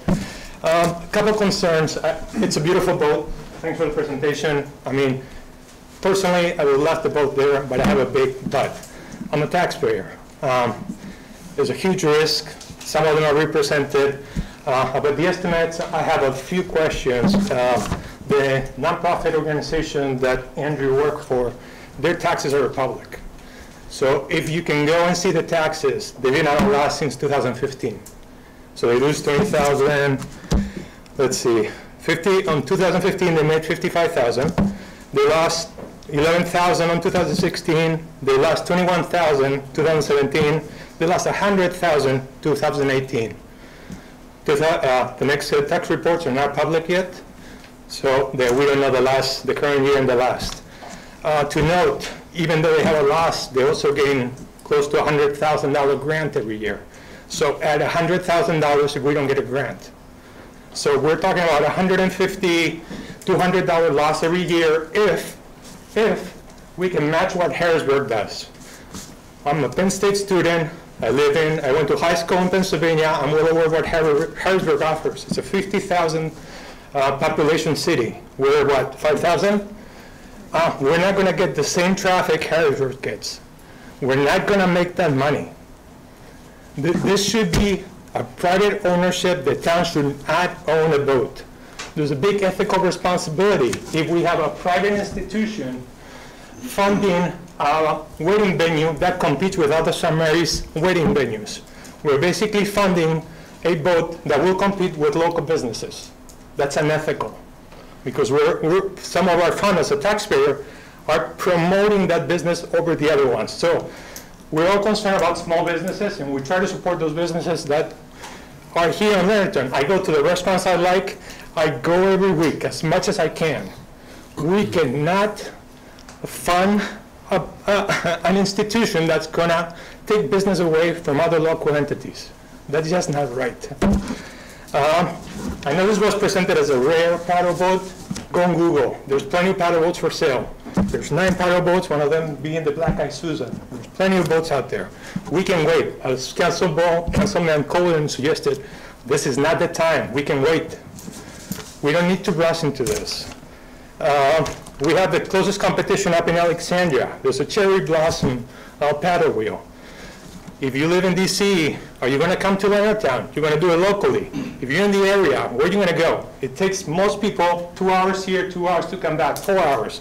They're spending the whole day. We know how well the hotel went. We're going to need a new hotel to, to, that will be great, but let's be realistic here. We're competing with DC. We're competing with cities that have much higher population than we do. It's very difficult for us to think we're gonna make money out of this. Um, The the, the cost that uh, Doug suggested, seventy-five dollars a person, I can afford it. That's not a normal person's salary. A four-person family, it's three hundred dollars for a two-hour trip. That leaves a lot of our population, local in Leonardtown, unable to take advantage of this. And we're part, partly owners, which is the worst part. So obviously, the thing is, what are we getting as residents?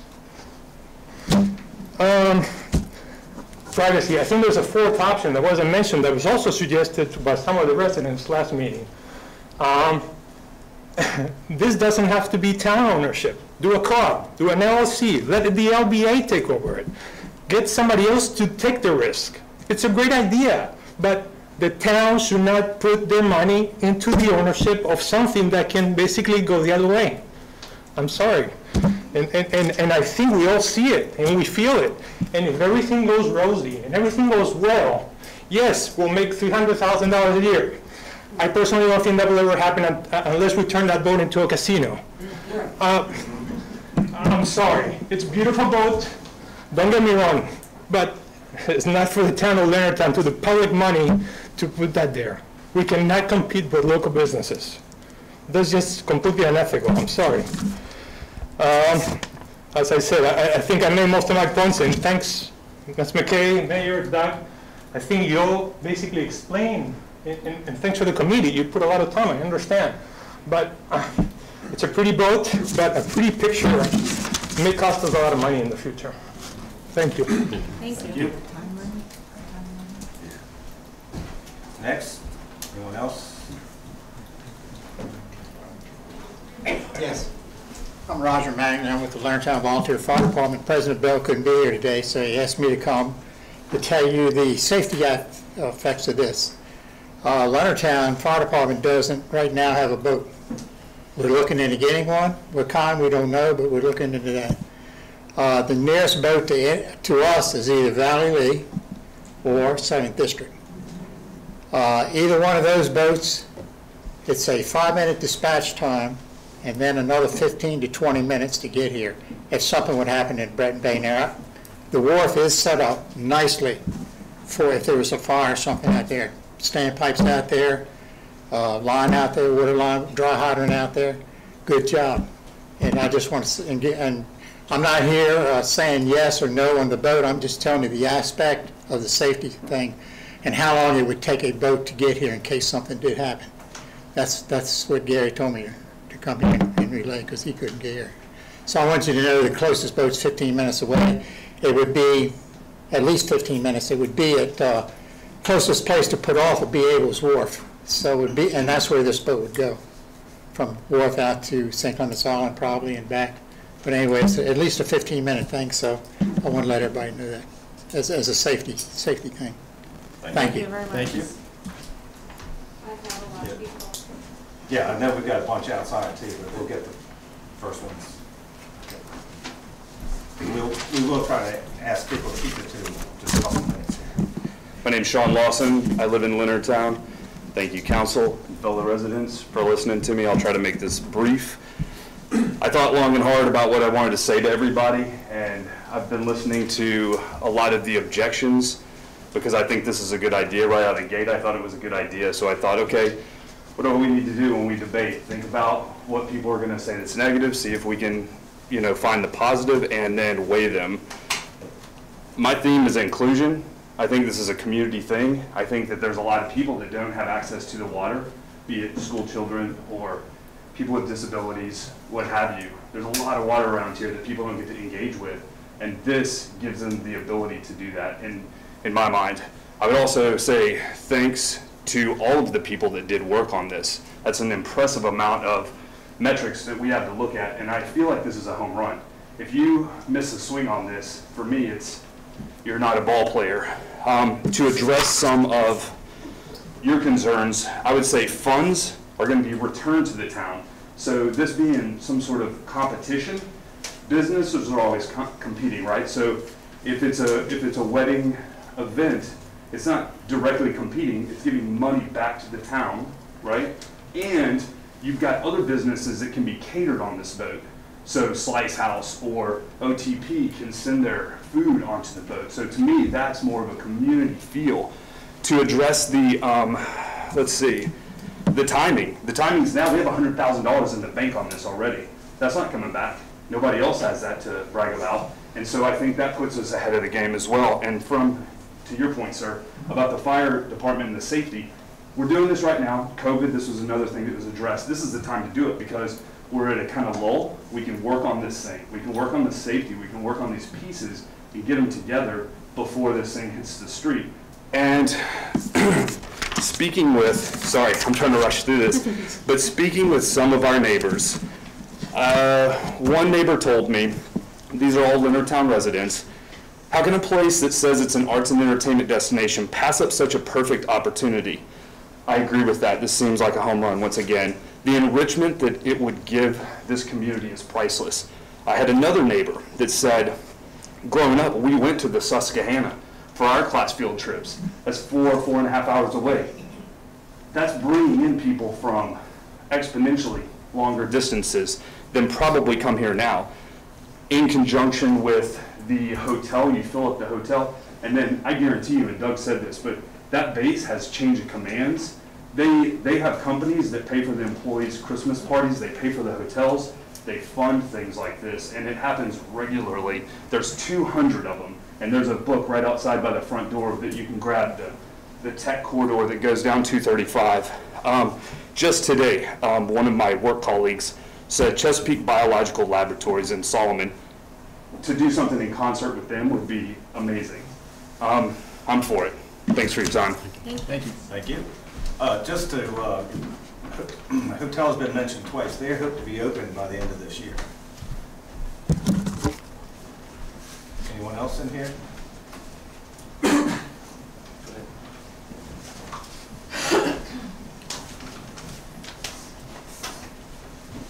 Hi, my name is Joe Bevan. Um, I am a resident and a business taxpayer in the town. Uh, I'm not in favor of the town purchasing the boat. I don't think that uh, the use of public funds to buy the boat is appropriate. Uh, All the benefits that I, all the advantages that I'm hearing coming out of buying the boat, I see that possible with a private entrepreneur, a private business buying the boat as well. And I think that's much more appropriate uh, way to to go about getting the boat. I think it's a great opportunity. Uh, I see the benefits to the town, but using uh, taxpayers' funds for it, I don't think is appropriate. Um, I also think that a decision of this financial magnitude should be voted voted upon by all the citizens of the town, put it out on a, on a town referendum so that the people who pay the taxes in Leonardtown get to make the decision, as opposed to all the people in the county who aren't paying for the vote. Uh, I can tell you, not everyone in the town understands that, that that's what's going to happen. My wife owns a business. She's talked to no fewer than three people that one thought the grant was going to pay for it entirely. Uh, another one thought that the county was going to pay for it. So not everybody that who is a town resident understands that, that their money is going to be used to buy the vote. Thank you. Thank you.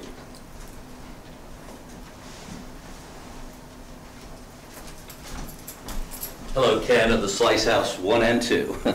Um, I just want to take off uh, the financial frightening of this. I do have an, a group of people that are all Leonardtown residents that are willing to assume all the financial risk of the boat. So the conversation should be about parking and, and the shuttle and all those things. But the boat itself, um, if you did want a private entity, I do have a group of people that are willing to take on all the financial risk.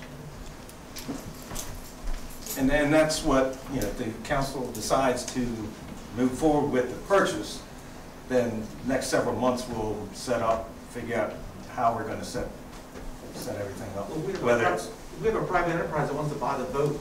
Why are we having a vote? Let them, let them handle it. Let them buy it, we'll help them.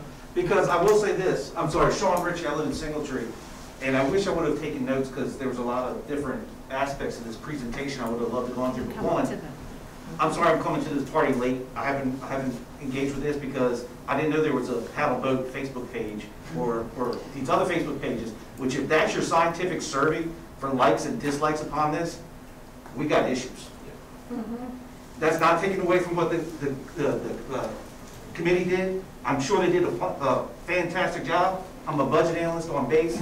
From that, from, from that description, that's a great sales pitch. But if you were to go into any bank and try and get a loan for a boat with that, they laugh you out the door. Because we didn't see marketing reports. And I'm not saying that they're not there, but you gotta let us see them before we vote to spend our money. And as far as grants, this is the last thing I'm gonna say, I have much other stuff to say, but as far as grants, everybody keeps saying, well, it's not our tax dollars. That is our tax dollars. We send it up to the state, and guess what? It comes back to us after bureaucrats, and we pay for every other function of government. We're actually spending, that hundred thousand dollars, we probably spent more to send it up there and get it back. And now we're gonna say, oh, we're getting free hundred thousand dollars. It costs us more to send it up there. It's just, let's not pretend like it's not gonna cost us. Yes, sir. Thank you. Hello, Chris Biggs, Leonardtown resident. Good good to see you again. Uh, Just a few questions, Uh, and and thank you for the committee that did all the work on this. That's awesome. Uh, I think that the the effort that went behind it was great, and appreciate us not having to do that. It did bring up a few questions for me, though. Uh, What makes us believe that we can succeed where Havre Havre de Grace failed? I mean, they're selling the boat. Why? He's What- going, he's going through a divorce. Okay, got it, thank you. Did we investigate their financials though? To go back to the business angle of this, did we investigate their financials and does that back up what we're doing? But he's got some health issues too, so the- last year he had, it's been operating, but not, not like it normally. Okay, understandable, understandable. Uh, What assurances do we have that this will not cost taxpayers any dollars? I mean, I'm curious, as a taxpayer in the town, am I going to end up having to foot the bill for this at all? Well, that's what we're talking about, the exit strategy. Even if it doesn't work, you know, we've got this hundred thousand dollar. But, but we, we could, we could sell it, but if it fails for us, the buyers are gonna go away, right? If we fail at it, there, there'll be fewer buyers. All right, what assurances do we have that this won't be turned into a gambling site? Right? To gambling, to gambling. Well, it's for some people they'd like that, right? But we were sold on one story, right? And if it does fail, gambling is always an option to make it profitable again. And are we gonna put that to a vote? And then that just gets to my last point is, uh, I agree with the resident that said, hey, this is a significant financial burden on our town. Let's let town residents vote on it and increase the publicity around it so we can all be informed and you can get the feedback from the town. Yeah, there were, there was good effort to reach, to do community outreach by the community, or by the committee. How about though, let's put it to a real vote and see what residents think. Thank you. Thank you. Thank you. Thank you.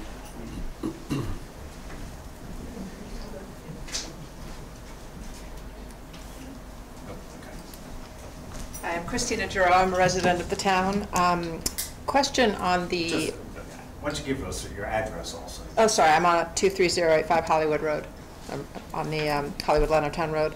Um, The uh, total purchase cost of the uh, boat appears to be in the 300,000s. I understand it's a $100,000 grant, there's a low-interest fund, a low-interest loan, um, but there are obviously additional purchase costs and infrastructure costs that haven't really been detailed and addressed in that the cost to the taxpayer, the, to- the potential um, uh, excuse me, sponsorship- sponsorships and partnerships. um, Those numbers, I think, need to be more defined before we make a, a- any kind of a purchase of this magnitude, um, as well as the operational agreement as to who's going to run the boat. Um, I appreciate the research that was done. The committee has done a wonderful job of providing information and a sales presentation, but the operational um, detail of a private entity or a nonprofit, there was mention of a Leonardtown um, Recreation something nonprofit, and I'm sorry, I don't have any more details than that because there wasn't anything shared, but the- if there is a nonprofit in um, existence, where's the information on that? Where's the, the detail on that that provides us the assurance that this can be run at a profit for the town? Um, There's mention of an MOU. Has that been negotiated? Has that even been discussed yet? So do we know that any of the revenue would be coming back to the town versus the nonprofit? um, Or whomever the nonprofit shares with? Obviously, nonprofit speaks to itself. Um, Those are my immediate questions. Thank you. Thank you. Thank you.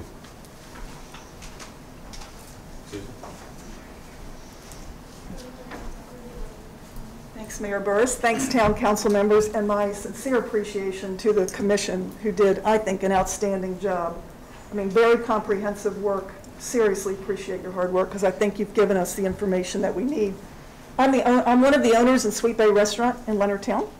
I grew up in Leonardtown. I love Leonardtown. I've watched Leonardtown be a thriving, thriving town, like when I was a child, and I've seen it boarded up.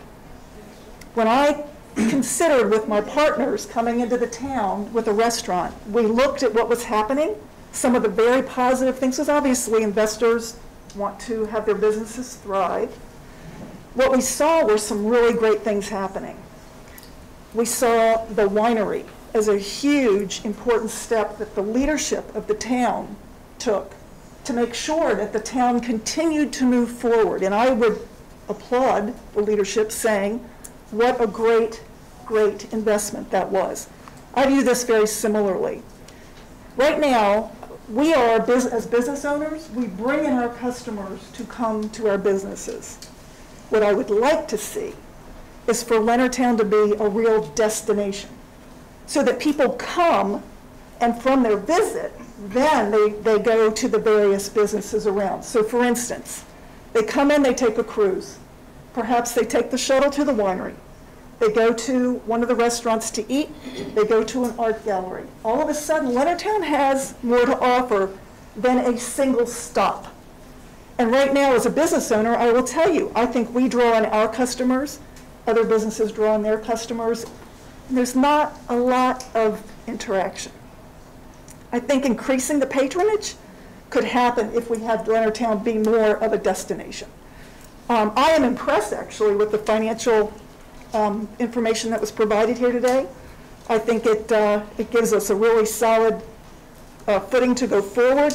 I do think that there are um, always risks, but I think the risks have been properly talked about, and I think the mitigations are in place. So obviously, I am very hopeful that we take advantage of this opportunity. When I was a child, I spent very little time on the water here, unless, unless on my grandfather's work boat.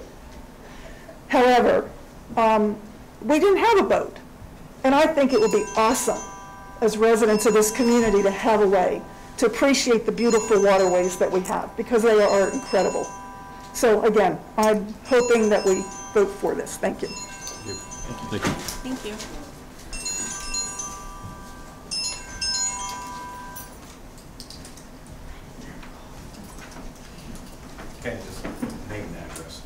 Yes, my name is Kenny Scully. I live at 41535 Trace Court, Leonardtown. Uh, I'm here today to say that I am not in favor of the town purchasing the boat. I don't think it should be purchased with taxpayers' funds. Um, If there's a private entity that wants to undertake this endeavor, I'm all for them to go full, full speed ahead but I don't think the taxpayers should be the ones to try and foot this bill, whether it goes or it doesn't go. Uh, Also, uh, one other thing uh, that Roger mentioned about, uh, uh, you know, if something happens, um, we're talking about a boat now that uh, carries 140 people. If it was to have an incident out in Breton Bay, St. Mary's County does not have the resources available to it to respond to that mass incident of trying to retrieve those people. If you can remember a few years ago, when the El Toro sunk down at Point Lookout, and that was, I don't remember, there's a whole lot less people on board it. There was a lot of difficulties getting resources out to retrieve those people. And unfortunately, some people perished in it from hypothermia because they weren't able to get them out of the water. Um, That's just something else that the town should take into consideration. Um, uh, Thank you for your time. Thank you. Thank you.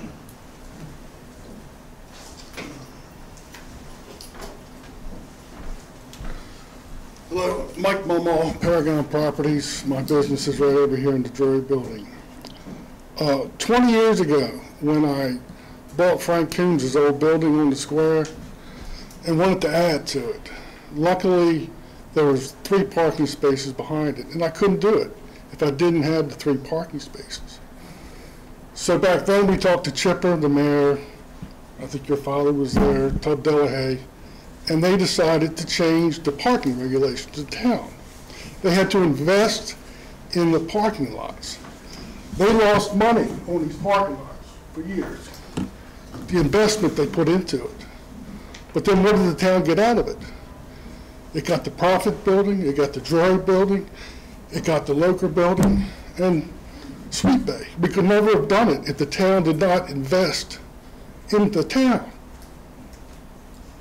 And that, to me, is, that tells the whole story. That's how it all got started 20 years ago. And then, like somebody said before, the winery wouldn't be here if they hadn't invested in it. It seems to me that worked out fine, as far as I know. So this is another investment in the town that I think would just be a great thing. Thank you. Thank you. Thank you. Thank you.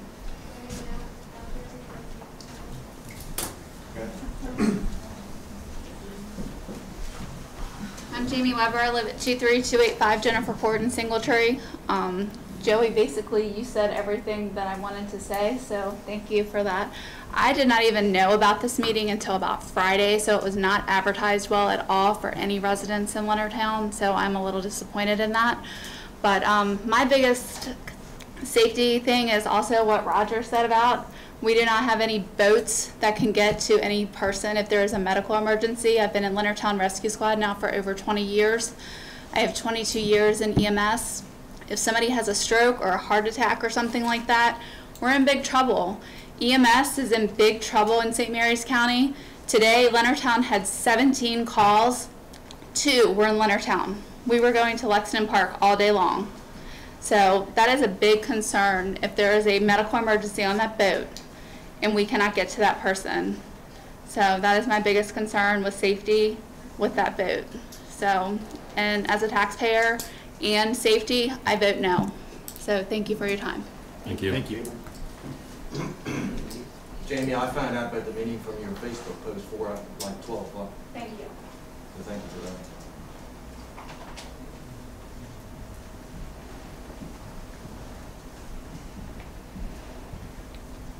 Hi, I'm Ellen Lewis. I'm president of the Leonardtown Business Association, and I think you have my letter of support. Um, I think it's important to look at this not as an expenditure, but as an investment. As business owners, business owners put money into things. They put money into appreciating assets on which they expect return on investment. And that is exactly what this is. It's not simply a return on investment of a particular vehicle, but a return on investment in our town. It is a way to bring people in. I own a business and I see people coming day trips from Maryland, from up in Maryland, from Annapolis, from o- across the King George Bridge. They come to Leonardtown. They're interested. I wish there was more to do on the water. This is what I hear again and again. This boat project provides that destination. It is a draw for people to come in. It brings people in, and when there's a steady flow of traffic into the area, that encourages other businesses to put their business in Leonardtown, which in turn is part of the machine that makes money and fills the coffers of our tax revenue. This is how it works. This is why the boat is important. It's not just a money sink, it's not a money pit. I hadn't planned on coming out speaking on this.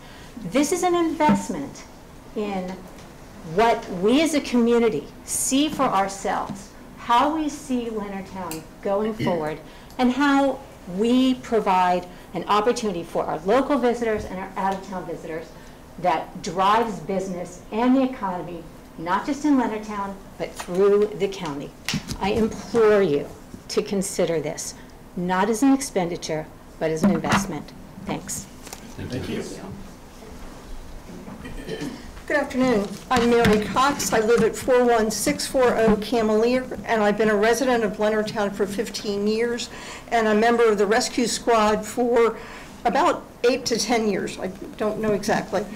I um, sent an email today to the town commissioners. I don't know if you received it. You may have received it because I sent it, like, may not have, because I sent it late in the day. They did, they did. I, I, I am not in favor of the, um, the purchase of this at this point in time. And I have a lot of concerns about it that I don't feel like have been adequately, um, um, answered t- by the public, and I don't feel like there's been enough public input. I just became aware of the slide presentation this afternoon. I don't know when it was put on the town website, but I had been checking the town website fairly regularly. In fact, I had even emailed you about some minutes that I felt like were, were being late, were late posted. So I don't feel like that, that there's been enough, um, enough input from the citizens and the taxpayers of the town, and I would support it, it it going to more of a, of a, um, information meetings and, and then bring it to a, to a vote among the town residents. Thank you. And- and for- My, my concerns may be addressed later, but so far they have not been addressed. And, and at this point today, I would urge you to vote no. Thank you. Thank you. Thank you. Thank you.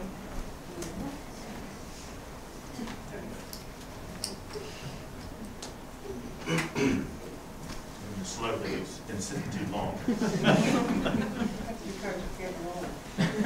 I'm not getting the I am on.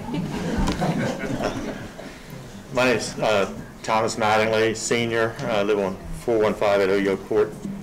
Um, Just, I sent you all some questions and all, uh, haven't received any response back from any of that, but the, the two questions that really stand out in my mind is, why is there still 190,000 of debt against this boat? If this, if this gentleman was so profitable, so successful, and maybe he's had some hard times for the last couple of years, I don't understand why he has $190,000, which is assumable debt that, that you all would take. The second thing is, you need to take and do a real good survey of the depth of the water in Breton Bay. I've lived in the town or around, near the town all my life. I can remember when it was 13 feet of water down there. I, the last time I was on it, it was six feet out away from the wharf. You better survey the entire channel going out. That's a federal channel that goes all the way to the Black Buoy from the wharf, just up past the wharf. But that's silted in something terrible over the years, and you better check that entire channel instead of just dropping a stick over at the end of the wharf or the pier where you're gonna, gonna dock at now. Um, You know, the other answers that were given, uh, that's pie in the sky, and that's wishful thinking. Um, If everything goes perfect, yeah, that might work. But I really have, have concerns. Uh, Finally, in the closing thing, I think if if you all want to make a real investment that's good for the wharf, is to try to acquire some of the other vacant land that's there and try to clean up the uh, remnants of the old ice plant and get it to where it's usable. You know, there's been a tremendous investment by the town at the wharf. But there were some opportunities that were missed, but beyond that, you need to, to get access, access to some of that additional land that's available there, because once it's gone, it's gone. You, you've lost a couple of buildings already that, you know, maybe there was an opportunity for them, but if you can secure more land down there and get the old remnants of the ice plant out of the way, you know, it's, it'll be usable. Right now, it's not usable, you can't do anything with it. And the boat ramp is really not, uh, it's not a legal boat ramp. It was put there for one purpose. And I don't, you know, I mean, it's being used now for kayaks, but it was put there for the boat ramp, for the boat races, and that was done illegally. Thank you. Thank you. Thank you.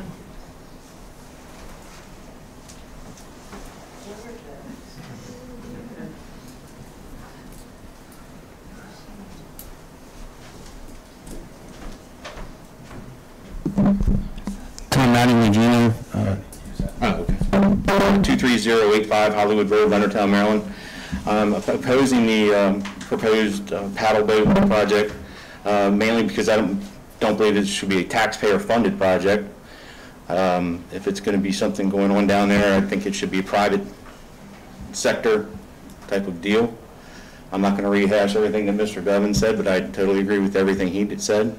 I also believe there is a serious uh, public safety concern with that in regards to not only the fire side of it, the EMS side of it, but environmentally. If there was some type of spill or something to come from that, how's that going to affect us? And what studies have been done environmentally and how that's going to affect it? Um, Again, my, uh, I encourage you to vote no for the project. Thank you for your time. Thank you. Thank you. Thank you. I'm Jeff Sherman, and I will keep this brief. Um, I'm going to talk to you from a perspective of a government support contractor. 15 years ago, I started a small business. Um, Today, we're over 300 people, and we're doing a lot of support with Pax River. Um, Over the years, as a company owner, we've experienced um, quite a hardship, if you will, of trying to find something to do for our employees, whether they're company-wide events or executive level activities or individuals' superior performance in providing something for them to do. So as a company owner, um, as well as a St. Mary's County resident, I look forward to supporting the riverboat project, both as a possible sponsor as well as a client. Thank you. Thank you. Thank you. Anyone else? Like, Make a comment?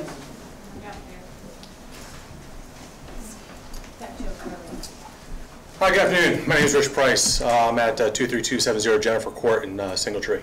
Um, I completely oppose this idea. Uh, There's a lot of, you heard a lot of businesses coming up here saying that, you know, hey, we think this is great, let's go ahead and do it. Let them buy it. I'm a taxpayer here. I don't want to spend my money on something like this. Um, I don't see the benefits. Um, The amount of financial support that went into this, like I heard other people saying before, you know, oh, it's going to bring back money. Okay, where do we actually do that research? Where's the actual data behind it? When I look at this, I see fluff. There's, there's nothing in here to, for me to sit there and say I can actually make any type of recommendations. And no offense, I apologize. But I really need, you know, to see more concrete data to show that this is actually going to go ahead and bring in some sort of money. And I was, for the individual that just came up here and said, you know, this is an investment in the town. Yeah, I agree, it could potentially be an investment in the town. But I also tell you as a boat owner, I don't buy a boat for investment. I buy a boat for pleasure because I know I'm throwing my money away when I use my boat. So, some of the other. Thank you. Thank you. Anyone else outside?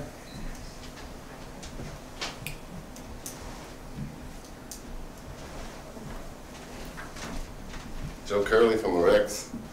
Um, I think it's a good opportunity. Also a resident. Also a resident. I think it's a good opportunity for Leonardtown. I'd like to see more people coming in town. Um, I think it ties us to the water for people who don't know about Leonardtown. Uh, riverboat, Leonardtown, water.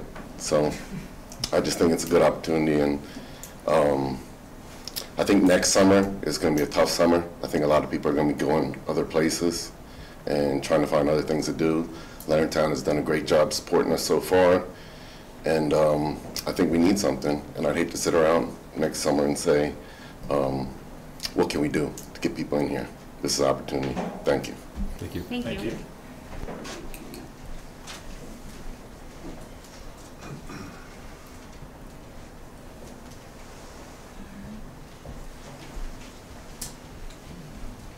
Sean Coogan with Social in Leonardtown.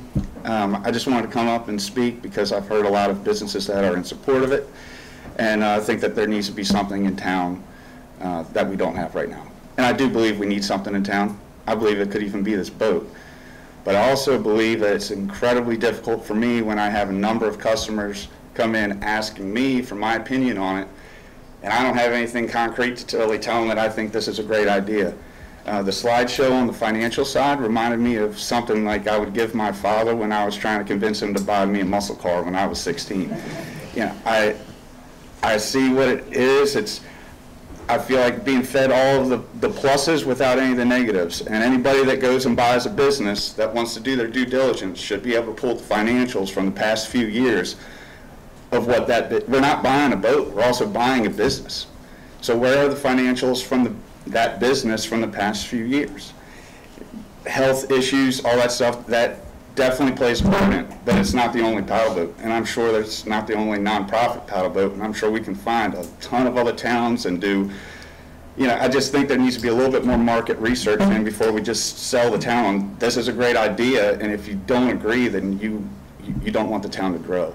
I just want to be able to actually tell customers and, you know, members of the town, anyone, hey, this is a great idea and I support it and this is why. I, I just don't want to tell them that, because I think it might be a good idea. So, That's all I had. Thank you. Thank you. Anyone else outside there?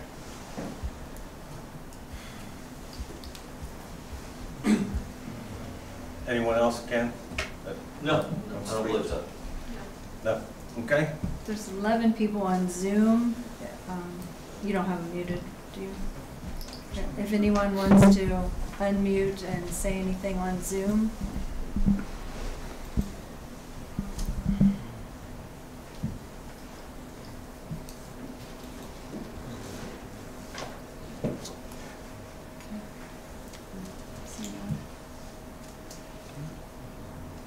No one on Zoom wants to uh, comment?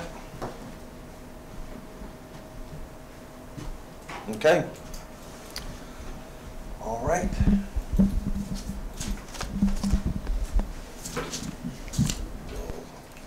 Council members, comments, questions? Yes, I'll, I'll just start by saying I want to thank the committee, Doug, I mean, great job. Everyone did a great job putting it together, presenting.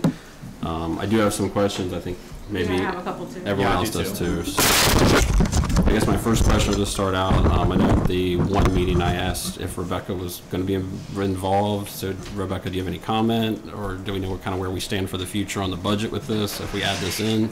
I did not participate in any of the committee meetings. Okay, so you've been not involved in any of this? Yeah, all I have is uh, the estimate of what we think the year one total use of fund balance would be. Okay. Yep. Yeah, I will, I will kind of address that a little bit. Um, You know, the- the councils in the past, we, we try to keep a fund balance of about 50% um, in reserve. And that's, you know, until she does the, uh, the audit, not going to know exactly what that's going to be. But there's been times that council has uh, decided to go down to, what, 25, 35%? At, at one time, it was between thirty-five and thirty-nine percent. Yeah. So when they wanted, this council wanted to make investments, we reduced that fund balance. So there's precedence for, for that also. Um, I mean, I have more, but if y'all want to ask some as well. Um, I know from our workshop meeting, there was a question about the dock. Mhm. Um, I had a question about when the second phase would be complete and if we found out if the dock could support the boat. Yes, the engineers looked at it. Um, What their recommendation was to do um, steel piles instead of the wood piles that we've been using. And so we would be able to swap those out. Um, There would be an additional cost for that, but um, not a significant, there's no redesign or anything that has to happen. So there'd be just a cost of the upgraded materials. Um, With that, where where would the dock, or where would the boat be docked until that extension would be completed? Um, Well, certainly, um, there's more slips that are down there right now, so they could temporarily be at phase one. um, Or we could actually moor it out off the, off the dock. Or possibly look at a, a different location at a different marina or something. But we're, we're looking at having the phase two done about the same time the, the boat would be ready. Right. Yeah. Um, and have, has St. Mary's County been involved with possibly, um, getting involved financially and, uh, hosting the boat, or if it stayed here part of the time operating and moved to something like Point Lookout or St. Clements? Um, No, actually, I did reach out to the county commissioners, but because of of Eric Colvin being Nick's brother, they just didn't want to comment. They just wanted, you know, they didn't want to, you know, get involved until the council moved forward. So, one of my first questions is, for the public cruises, if we're gonna do four a week, what's the minimum number of people that needs to be on that boat for that boat to still go on? I mean, what if, you know, it's a Saturday morning, it's not the best weather, the boat can still go out. What if five people get on that boat and that's it? We're losing money off that cruise. So does that boat go out or do we tell those people, sorry, you have to wait, wait till tomorrow? I mean, yes, if it's, especially if it's poor weather and, you know, we're going to need to make sure there's probably 40 people on board to make it, make it work. I mean, there's a lot of detail. What we've tried to do is do uh, an estimation of what we think is very reasonable, um, and then the operational plan and how that, you know, how many people you'd have to have to make it profitable to go out, and, you know, whether they're pre-ticket sales. I mean, that's all part of setting up the organization and putting the, the business plan together.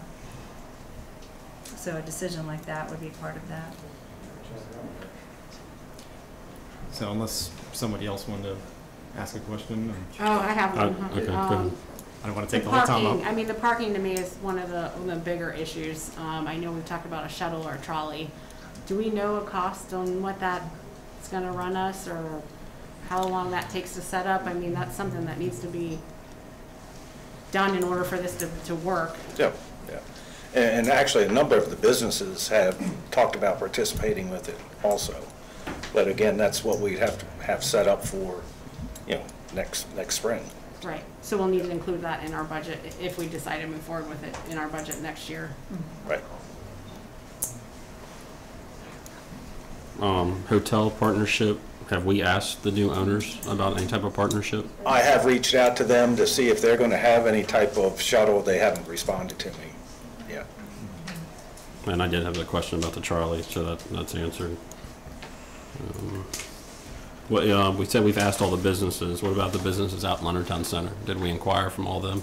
We went out and with um, 190 packets individually, the marketing committee did, for the Welcome Back campaign. And as the representatives went in, they tried to talk to business owners, and I would say at least 50 different people were contacted directly Mhm. through that process. And, um, and then as well as LBA members, um, you know, we had the meeting last week. There's been correspondence on the, on the LBA um, site, and they're, they're members also, most of Okay. them. Some of this stuff I'm just thinking out loud from comments. Um, Do we know what the depth of the water is down there? We do. uh, do And we, ha- we actually didn't just stick a stick in the water, we actually have a very extensive survey of the entire. Is that from when we did the um, docks and stuff? Something? Okay.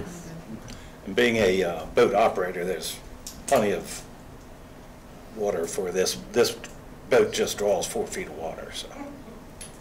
Are we ever able to obtain the past financials on this boat from the previous owner?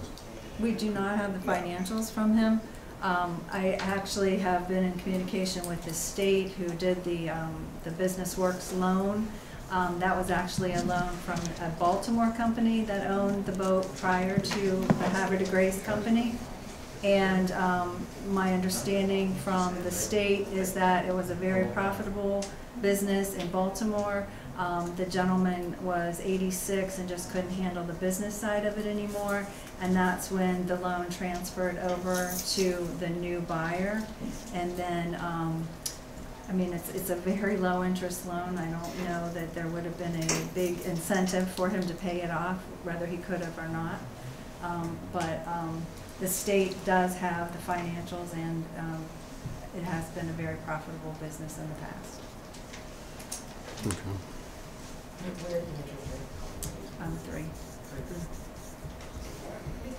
So have we, t- I know we were talking about it with the pier extension, but have we talked about where the pump out station would go? Yeah, we have a design. We also have a separate grant for the pump out station as part of phase two. Okay. Is that going in the front on the end of the pier, or is it?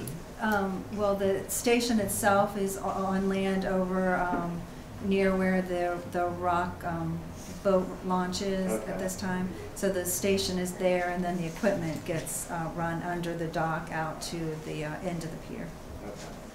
But basically, you just have the, the the hose out there. Box, yeah, yeah. Right. And it gets tied in with our sewer system. We are, we have, we would run another manhole over there, so it would actually be tied in with our sewer system.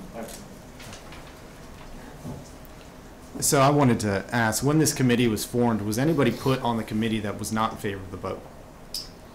Actually, the Ludwigs spoke Yeah. out against it on Facebook and were invited to attend and, and, um, I mean, we asked for volunteers. We were trying to look for people who had expertise that, you know, we had three captains that we reached out to. Um, so it was, a lot of it was based on expertise. I mean, I don't know if, uh, you could speak for yourself if that's not accurate. No, you're pretty accurate. I had one last question, at least I do. Um, so the funds, so it's not in our budget currently, so we'd be pulling it from reserve. Where, what funds the reserve fund? Is it money left over from the operating budget that gets moved down? How does, how does that get funded? Do you know? In any given year, when the final numbers are audited and we issue the financial statements, we can have revenue items that generate surplus. We can also have expenditure items where we didn't spend hundred percent of what we budgeted, and that generates surplus. And that would ultimately fall to the bottom line. So, generally speaking, our two main sources of income are property tax and income tax. And that funds a large portion of the budget. Our user pretty much stands alone because that's state revenue and it can only be spent for certain uh, road maintenance type items. Um, So any expenditure savings in any given year can be more than any revenue surplus. It, it varies from year to year. But the two major sources of income are property tax and income. Thank you.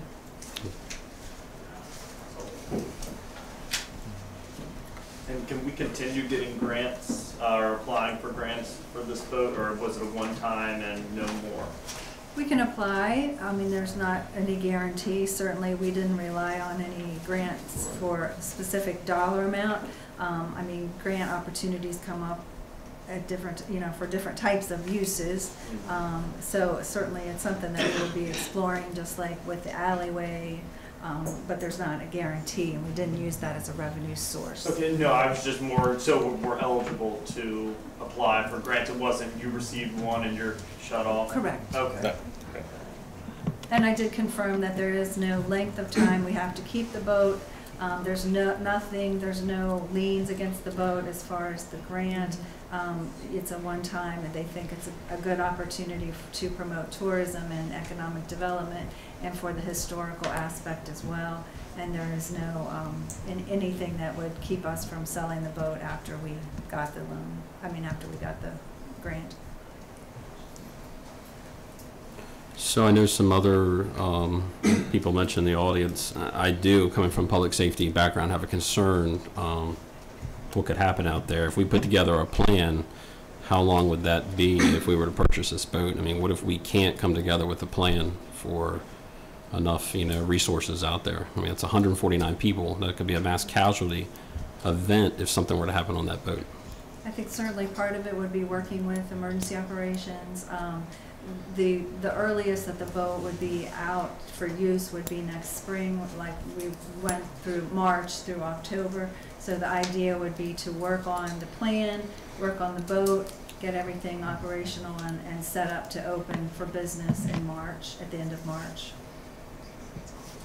And I guess this would be the same for the security of it, because I'm thinking, you know, when, who's going to monitor the boat when it's not in use? It's just going to be sitting there, so anybody can just jump on it? No, there, I mean, there's protections, um, already, gates and that sort of Okay. thing. We already have a camera system, we would probably be adding to that, which we already had budgeted for as well.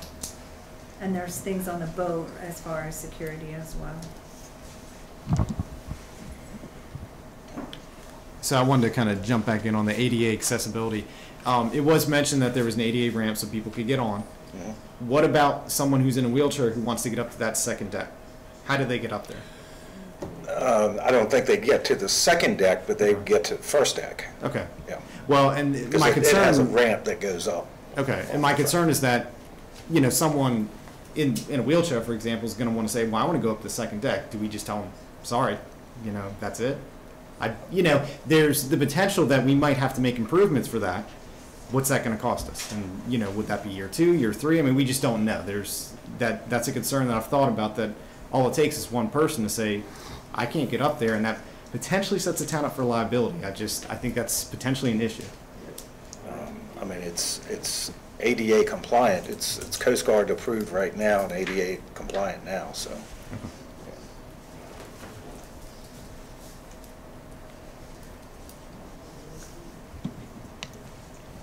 Of course, this is me just thinking out loud, what if we can't find a group to run the boat? What do we do as the town?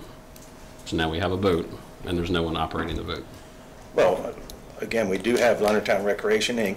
That was set up 20-some years ago, nonprofit. We could bring that up, hire, you know, uh, put our own board of directors in charge and have them operate it.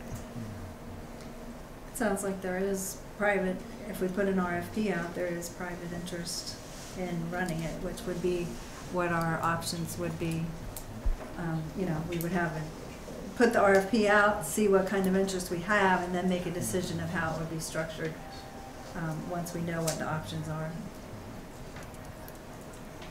Yeah, one of the, one of the comments I heard today from a, a business was put out an RFI, you know, easy, quick, and that would help inform the decision, you know, do we go nonprofit, do we go? Sure. uh, Put out an RFP, but it would be an early, uh, fact, finding information.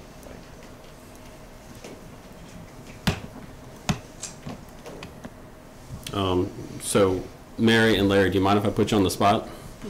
So you're not sure about the boat, and then you're on the committee. How do you feel now? Well, I had a number of concerns. uh, And uh, when I saw the presentation and started reading up on the information, asking questions, there are some questions that I have. And in fact, a number of, few good ones came up today. But uh, right now, we're, we're for it. And I'll tell you why. And one of the reasons is, right now, if we go out to dinner, we're generally going outside the town. We did that for a long time.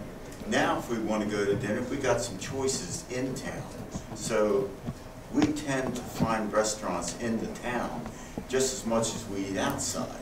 And as more restaurants come in, we see us being here more than out in other parts of the town. Mm-hmm. This, to me, adds another possibility for a couple of uh, elderly folks like us to find entertainment. We have things to do. Right. Uh, we have, uh, we have, uh, uh, Antoinette's down the road here. We've been to that several times. We Mhm. like that. We like being able to do things like that for entertainment. We like going to the local restaurants for Mhm. entertainment. We like going down to the wharf when they have events down there. We see this as, wow, this is another thing that we can enjoy doing. So, yeah. Um, I will agree and disagree with my wonderful husband here. Yes, I am absolutely for the, the venue. I think it's a beautiful thing. I'd love to see it happen. But when I heard concerns from Jamie Weber, my husband runs a lot of time with the rescue squad. And they are so short on help. Today, they were putting out an all points bulletin of some sort, looking for help. I didn't see the safety factor involved in it. And it made me stop and think, because I know how shorthanded they are. If something happened, it, that could be a real problem. And, and I feel like, uh, you know, we got on this committee because we were interested and we wanted to know more about it. But I almost feel like there's some missing pieces. I don't know if it's too soon to make a decision financially or otherwise, but when I heard Mary Cox and, and the other gentleman talking about the safety, that is imperative. Right. Yeah, I'm picturing somebody has a heart attack out there in the middle of Breton Bay. Somebody's got to get out to that person. And uh, I would, now, I can say that the captain, the captain and the crew, they'll have CPR training. So they- they will be trained. They have to be trained. Yeah, so I can picture somebody has a heart attack out there. They have an AED out there, they have all the uh, equipment and the knowledge to do start CPR. Mhm. And then here comes volunteer rescue squad or fire department out there to get the person. Uh, There's, that's the best way it could be done. Right. And uh, so, you know, the person would be getting CPR, and when rescue squad gets out there, we can continue that CPR. Normally, they don't do CPR until they realize the person's not breathing and has no pulse. That's when you start. So uh, uh, you just want to, the training will be out there on the boat, I understand that. Right. It's just getting out there, is rescue, getting out there and getting that person back if he, if we can revive him. Mhm. Nick, I did get an answer on the ADA, so if, if we have ADA uh, accessibility covered on the first deck, there would not be a requirement on the second deck to, to Okay. improve it. And this decision has to be made at today's meeting. The deadline of the contract is tomorrow, correct? Our, our, our deadline is tomorrow, we extended it to, till, um, once already, and there, they do have, uh, other people waiting, so they're not gonna extend it again. Okay.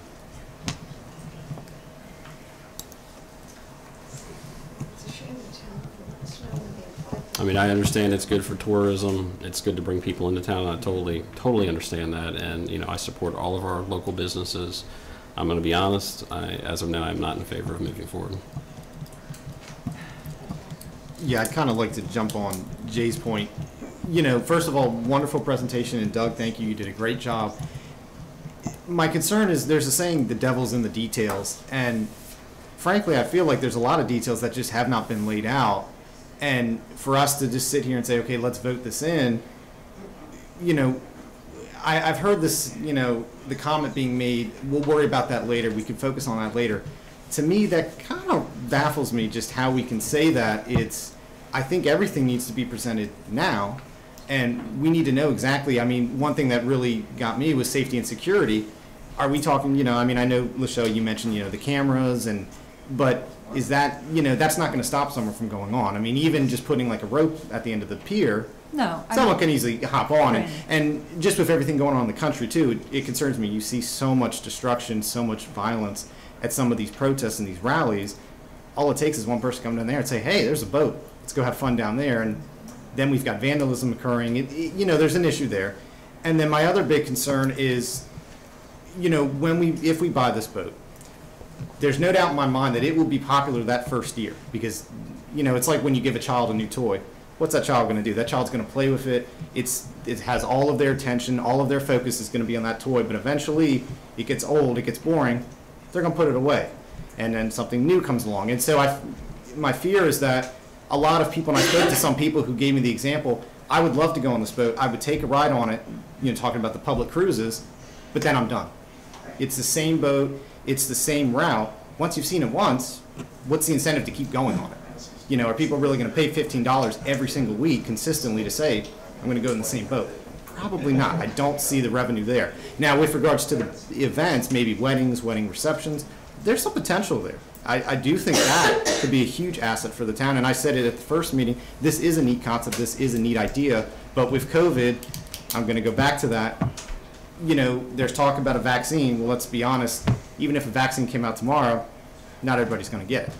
It's going to take years for this to truly go away. And my fear is going into next year, it gets bad again. The governor comes out and says, okay, we're, li- we're putting more restrictions on place.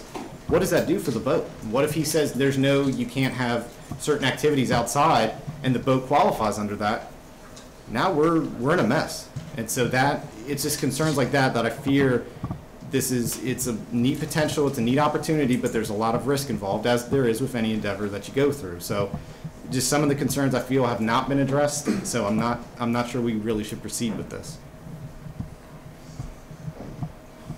So mine was, uh, I was same, same sort of concern, I was trying to run the numbers real quick, at that seventy thousand of the revenue for year two was, uh, assumed for events and, uh, was it weddings, which could be accurate, but it's a, it's seventy thousand of the ninety-six thousand came from that.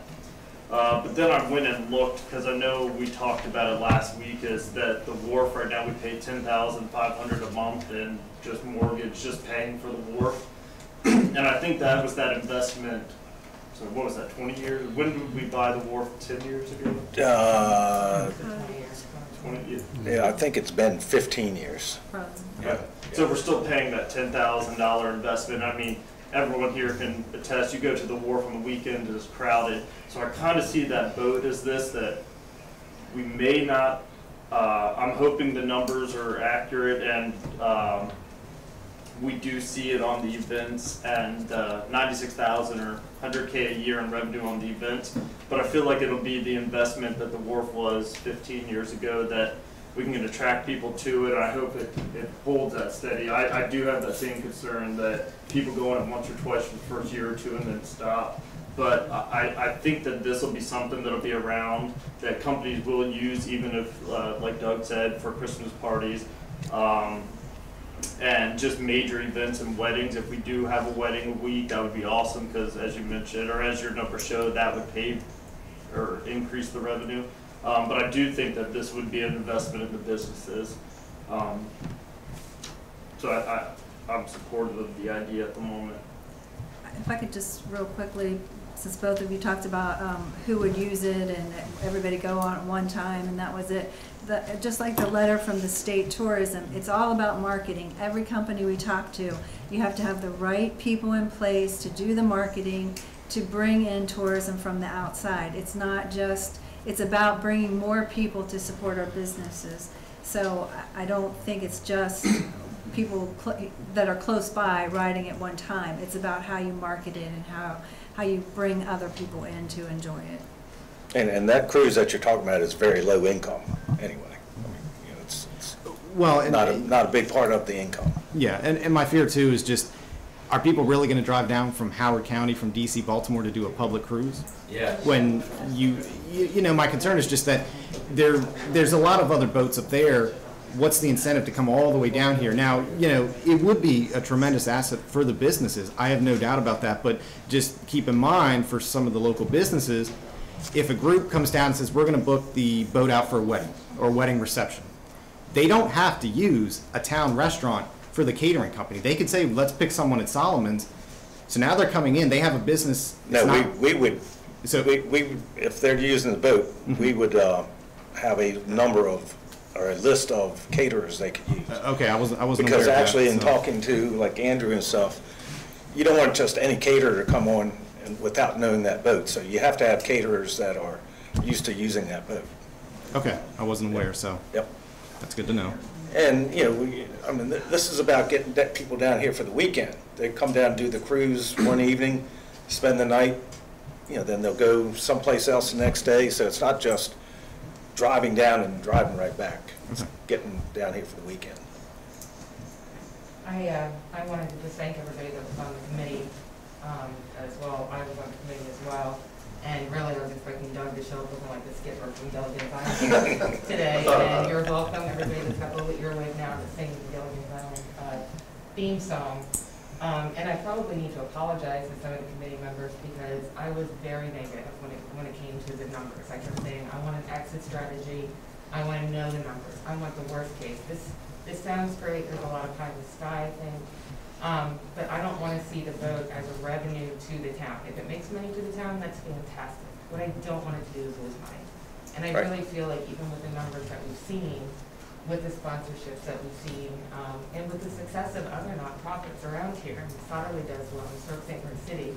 Uh, Pete Himmelheber was here earlier, and, you know, we were talking about St. Clements and, and the cross and how, how passionate people are about that down there. And I think that you'll see a lot of that kind of support for the vote once it comes in. And I think you'll see the schools. I mean, what a great opportunity for the schools. And if the private industry comes in here, I'm not so sure that we would have the right to say, you're a private vote, please let the schools come on and do school tours every day of the week. Right. That's only something that's gonna be backed by a government or municipality. So, um, thank you guys for being patient with me because I, I was definitely the one that kept saying, okay, exit strategy, exit strategy. Can we get out of this? If we buy this and a year from now it sinks or whatever, are we gonna be able to take care of it? Yes, the insurance looks like it'll cover it, the boat will retain value, we can sell it a year from now. Okay. Guess I'm the last one, right? Um, So first, I want to thank the committee. I think they did a great job. The presentation was wonderful. I know they put a lot of time. That was free time for us, so we, we appreciate that. And I also uh, want to thank all the people that came out to speak. You know, your opinions are more valuable to us than you know, so greatly appreciate everyone taking time out of their day and their evening with their kids to come down and, and tell us how you think. Um, so that being said, I think, you know, when you first get told, hey, if I have a boat down in town, that sounds great. Um, I want to get on the boat, take dinner, you know, ride around town and come back and, you know, we live near town, so, or downtown, so, you know, we could almost walk to the boat. Um, but we're not here to vote on whether or not we think it's a good idea. We're here to vote on whether or not we think it's good for the town, businesses, citizens. Is it going to be profitable? Um, does it make sense as part of our town plan, those kinds of things. Um, so that being said, and I have some issues, and some of them are the parking. We don't have that nailed down. We don't know how the shuttle or this trolley is gonna work, and that's gonna be another expense we'll have to take on. Um, so that worries me. Um, the other thing that worries me is that, so we have some options on the business plan, but we don't know what that business plan looks like. There wasn't a marketing study done, there wasn't, um, we didn't receive the financial statements from the current boat, um, owner, or, I mean, I know we spoke with the, um, the Harrisburg gentleman, and I think they're doing all right. Um, but we don't have that information. Um, so I'm gonna kind of piggyback on what Mary over here said, and I just feel like we don't have enough information right now to make this a clear decision. I, I just don't have enough to say yes or no, um, unfortunately. Okay. I guess, does anyone care to make a motion to see whether it passes or not? I'll make the motion. I move to approve the purchase of the Black Eyed Susan in the amount of three hundred and twenty-two thousand per the purchase agreement dated July twenty-fourth, twenty twenty. Okay, we have a motion, do we have a second? I'll second. Okay. Any further discussion? Hearing none, all in favor? Aye. Opposed? Opposed. Opposed. Opposed. Okay, three, two opposition, opposed, so. Thank you very much. So we'll move on from here. Thank, thank everyone involved, and appreciate everyone's comments. See where we go from here. Our, our meeting's not quite done yet, but y'all can certainly go and go. Thank you very much.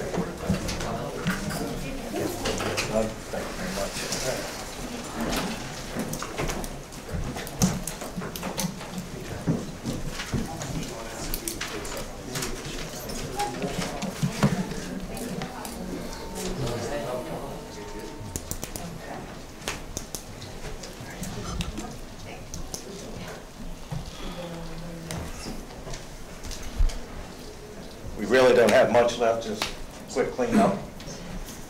I am, that was my report, I'm not gonna get into anything else right now. Uh, Events, Tyler. All right, uh, so the main one is the Wintertown Summer Music Festival, which is on Saturday, September 20th. Uh, it'll be featuring Roddy Booth, Hydro Effects, and then Wes and Carly Bryce. Um, and that's it for me. Okay. Um, I guess we are going to do a virtual Veterans Day. That hasn't been announced yet, but uh, instead of having the actual Veterans Day parade, we're going to do a virtual, we were talking with Brandy today, so. So how often, I mean, we haven't ever skipped one in the past, have we? What's, I'm sorry? I know we, the Veterans Day Parade, um, so that's been going on for forever. It's Yeah. so sad. Just, yeah, it is. Yeah, no, I mean, I understand completely, just. Especially with that age group, I, you know, just don't want them coming Yeah, out here no, anyway, agreed. so. Right. Okay. Uh, Nick, Community Development Planning, Uh, I don't have anything to report. okay? Christy? Um, I don't have anything to report, but I do have a quick question for Laschelle. Um, the update or upgrade to the treatment plant, can you remind me what the schedule is? Are they, I know they're working on it. Yeah, uh, we've had several meetings. It's probably, um, you know, still about three years out Okay. probably to completion.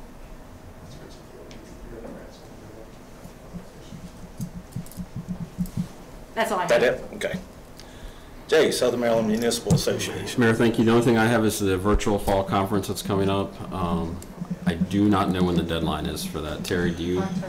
October 3rd, okay, so I don't know if anyone else is interested, but I know. Well, I I'm called interested. everyone, that's what I called about Saturday, was see who was interested, so. Okay. My calendar. Yeah, so, and that's, that's the only thing I have, thank you. But will you be attending it? The, the fall conference? Yeah. Yes. Okay, so you'll be, at least we'll have one, so, okay. Thank you. And Mary, Business Development and Retention. All right, well, I hate to be the bearer of bad news, but I closed another small business uh, over in Watertown this weekend. Fifteen years they've been here, and gone, can't, can't make it, can't survive COVID, so. Who is that? Oh, I can't, I can't say, Oh, but, yeah, okay. you know, so we're still, it's it's tough. It is Yep, really tough out sure. for the businesses, and I hope that Wintertown can survive. On the flip side, um, went over to Antoinette's Wine Garden on uh, Saturday evening, which was a wonderful, wonderful experience. Yeah, experience. it is. And I'm, I'm so Mhm. happy to be there. Um, I spoke to the, the person that was serving the wine, I'm not sure who it was, the uh, waiter, I guess.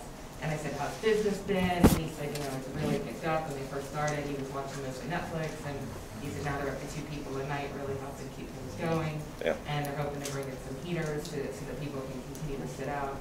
Um, I mean, my only concern really was sitting next to those orange bar- barricades was, you know, it's like, oh gosh, if somebody's out there driving drunk or end up you know, it's, it's a scary place to be. Yeah. So I hope that's something that maybe we can think about in the future, or something, obviously not for this year, but, you know, if you can have the tables out on the, I think we, we gave them permission to have tables out on the sidewalk. Yeah, they can have them on the sidewalk. You know, Yeah, so just I two or three. I think that's, you know, really safe, but I, I mean, I feel for these businesses, Yep. that's, that's really hard to have an elegant experience. Um, but fantastic, so please, if anybody has not gone to Infinite, please give it a shot. The drinks were wonderful, the, the food was good, it was really a great event, a great night. Um, want to talk about this brochure that's come out, fantastic. Yeah. Fantastic, I was just asking Michelle beforehand, if we could actually mail these to everybody, it would be great to have. What a nice, um, piece of, you know, that you can have on your desk or whatever, and it's all organized, you know, where it's arts and professional people, and we're really supporting Leonardtown businesses, so I love this. And then, I don't know if anybody, uh, watches, I guess it was on YouTube, if anybody saw Haunted Southern Maryland over the Yeah, weekend. I did. was. And they did the, um, the Moll Dyer, and please, please, please, can we get a better sign for the Moll Dyer Rock? I hate that little postcard. I, I think It's county that counties, counties, uh, Uh, they're, they're working with gonna the redo it, yeah. They're working with the committee. We need, Yep. to- we need to figure out how to boost up that committee, because, I mean, it was, it was neat to have, you know, see the courthouse featured and see him walking through downtown Leonardtown. And, um, I, it just, Moll Dyer, for whatever reason, brings people into Yeah, Leonardtown. does. So it'd be nice to have a little bit more to give. Yep. So if there's anything I can do to help out on that, I'd love to, love to see it. And I think tourism uh, changed the sign out there also, Yeah, didn't they? They have a new sign ready, I guess, but yeah, they put it up. Yep. The old jail has a new sign. Yeah, the old jail. The, the Rock is meant to move over to Tudor Hall, and I think that the county uh, DPW is working with um, Tudor Hall to get that rock Oh, over to the, okay. Yeah. It it would be great to just have something more, because I felt so bad where you were featured on, and I don't know, I guess people will watch it, but, you know, we got this little, looks like an index card that somebody just wrote from all night rock, so I'd like to see something a little bit more. And that's it. Okay. All right, unless there's anything else, uh, I'd call for a adjournment. Move to adjourn. Second. All in favor? Aye. Thank you very much.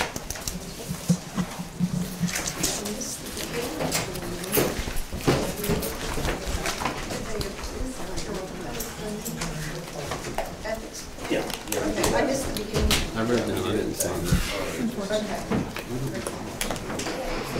No, I was out there for, no, I was out there for a while, and I said, I'm really sick. Can I see? Yeah, I'm like, But I did I mean, miss we the have to beginning we have to of it vote the because I I didn't. Can I buy the vote net of the uh, grant money? You know. Is that an option? No.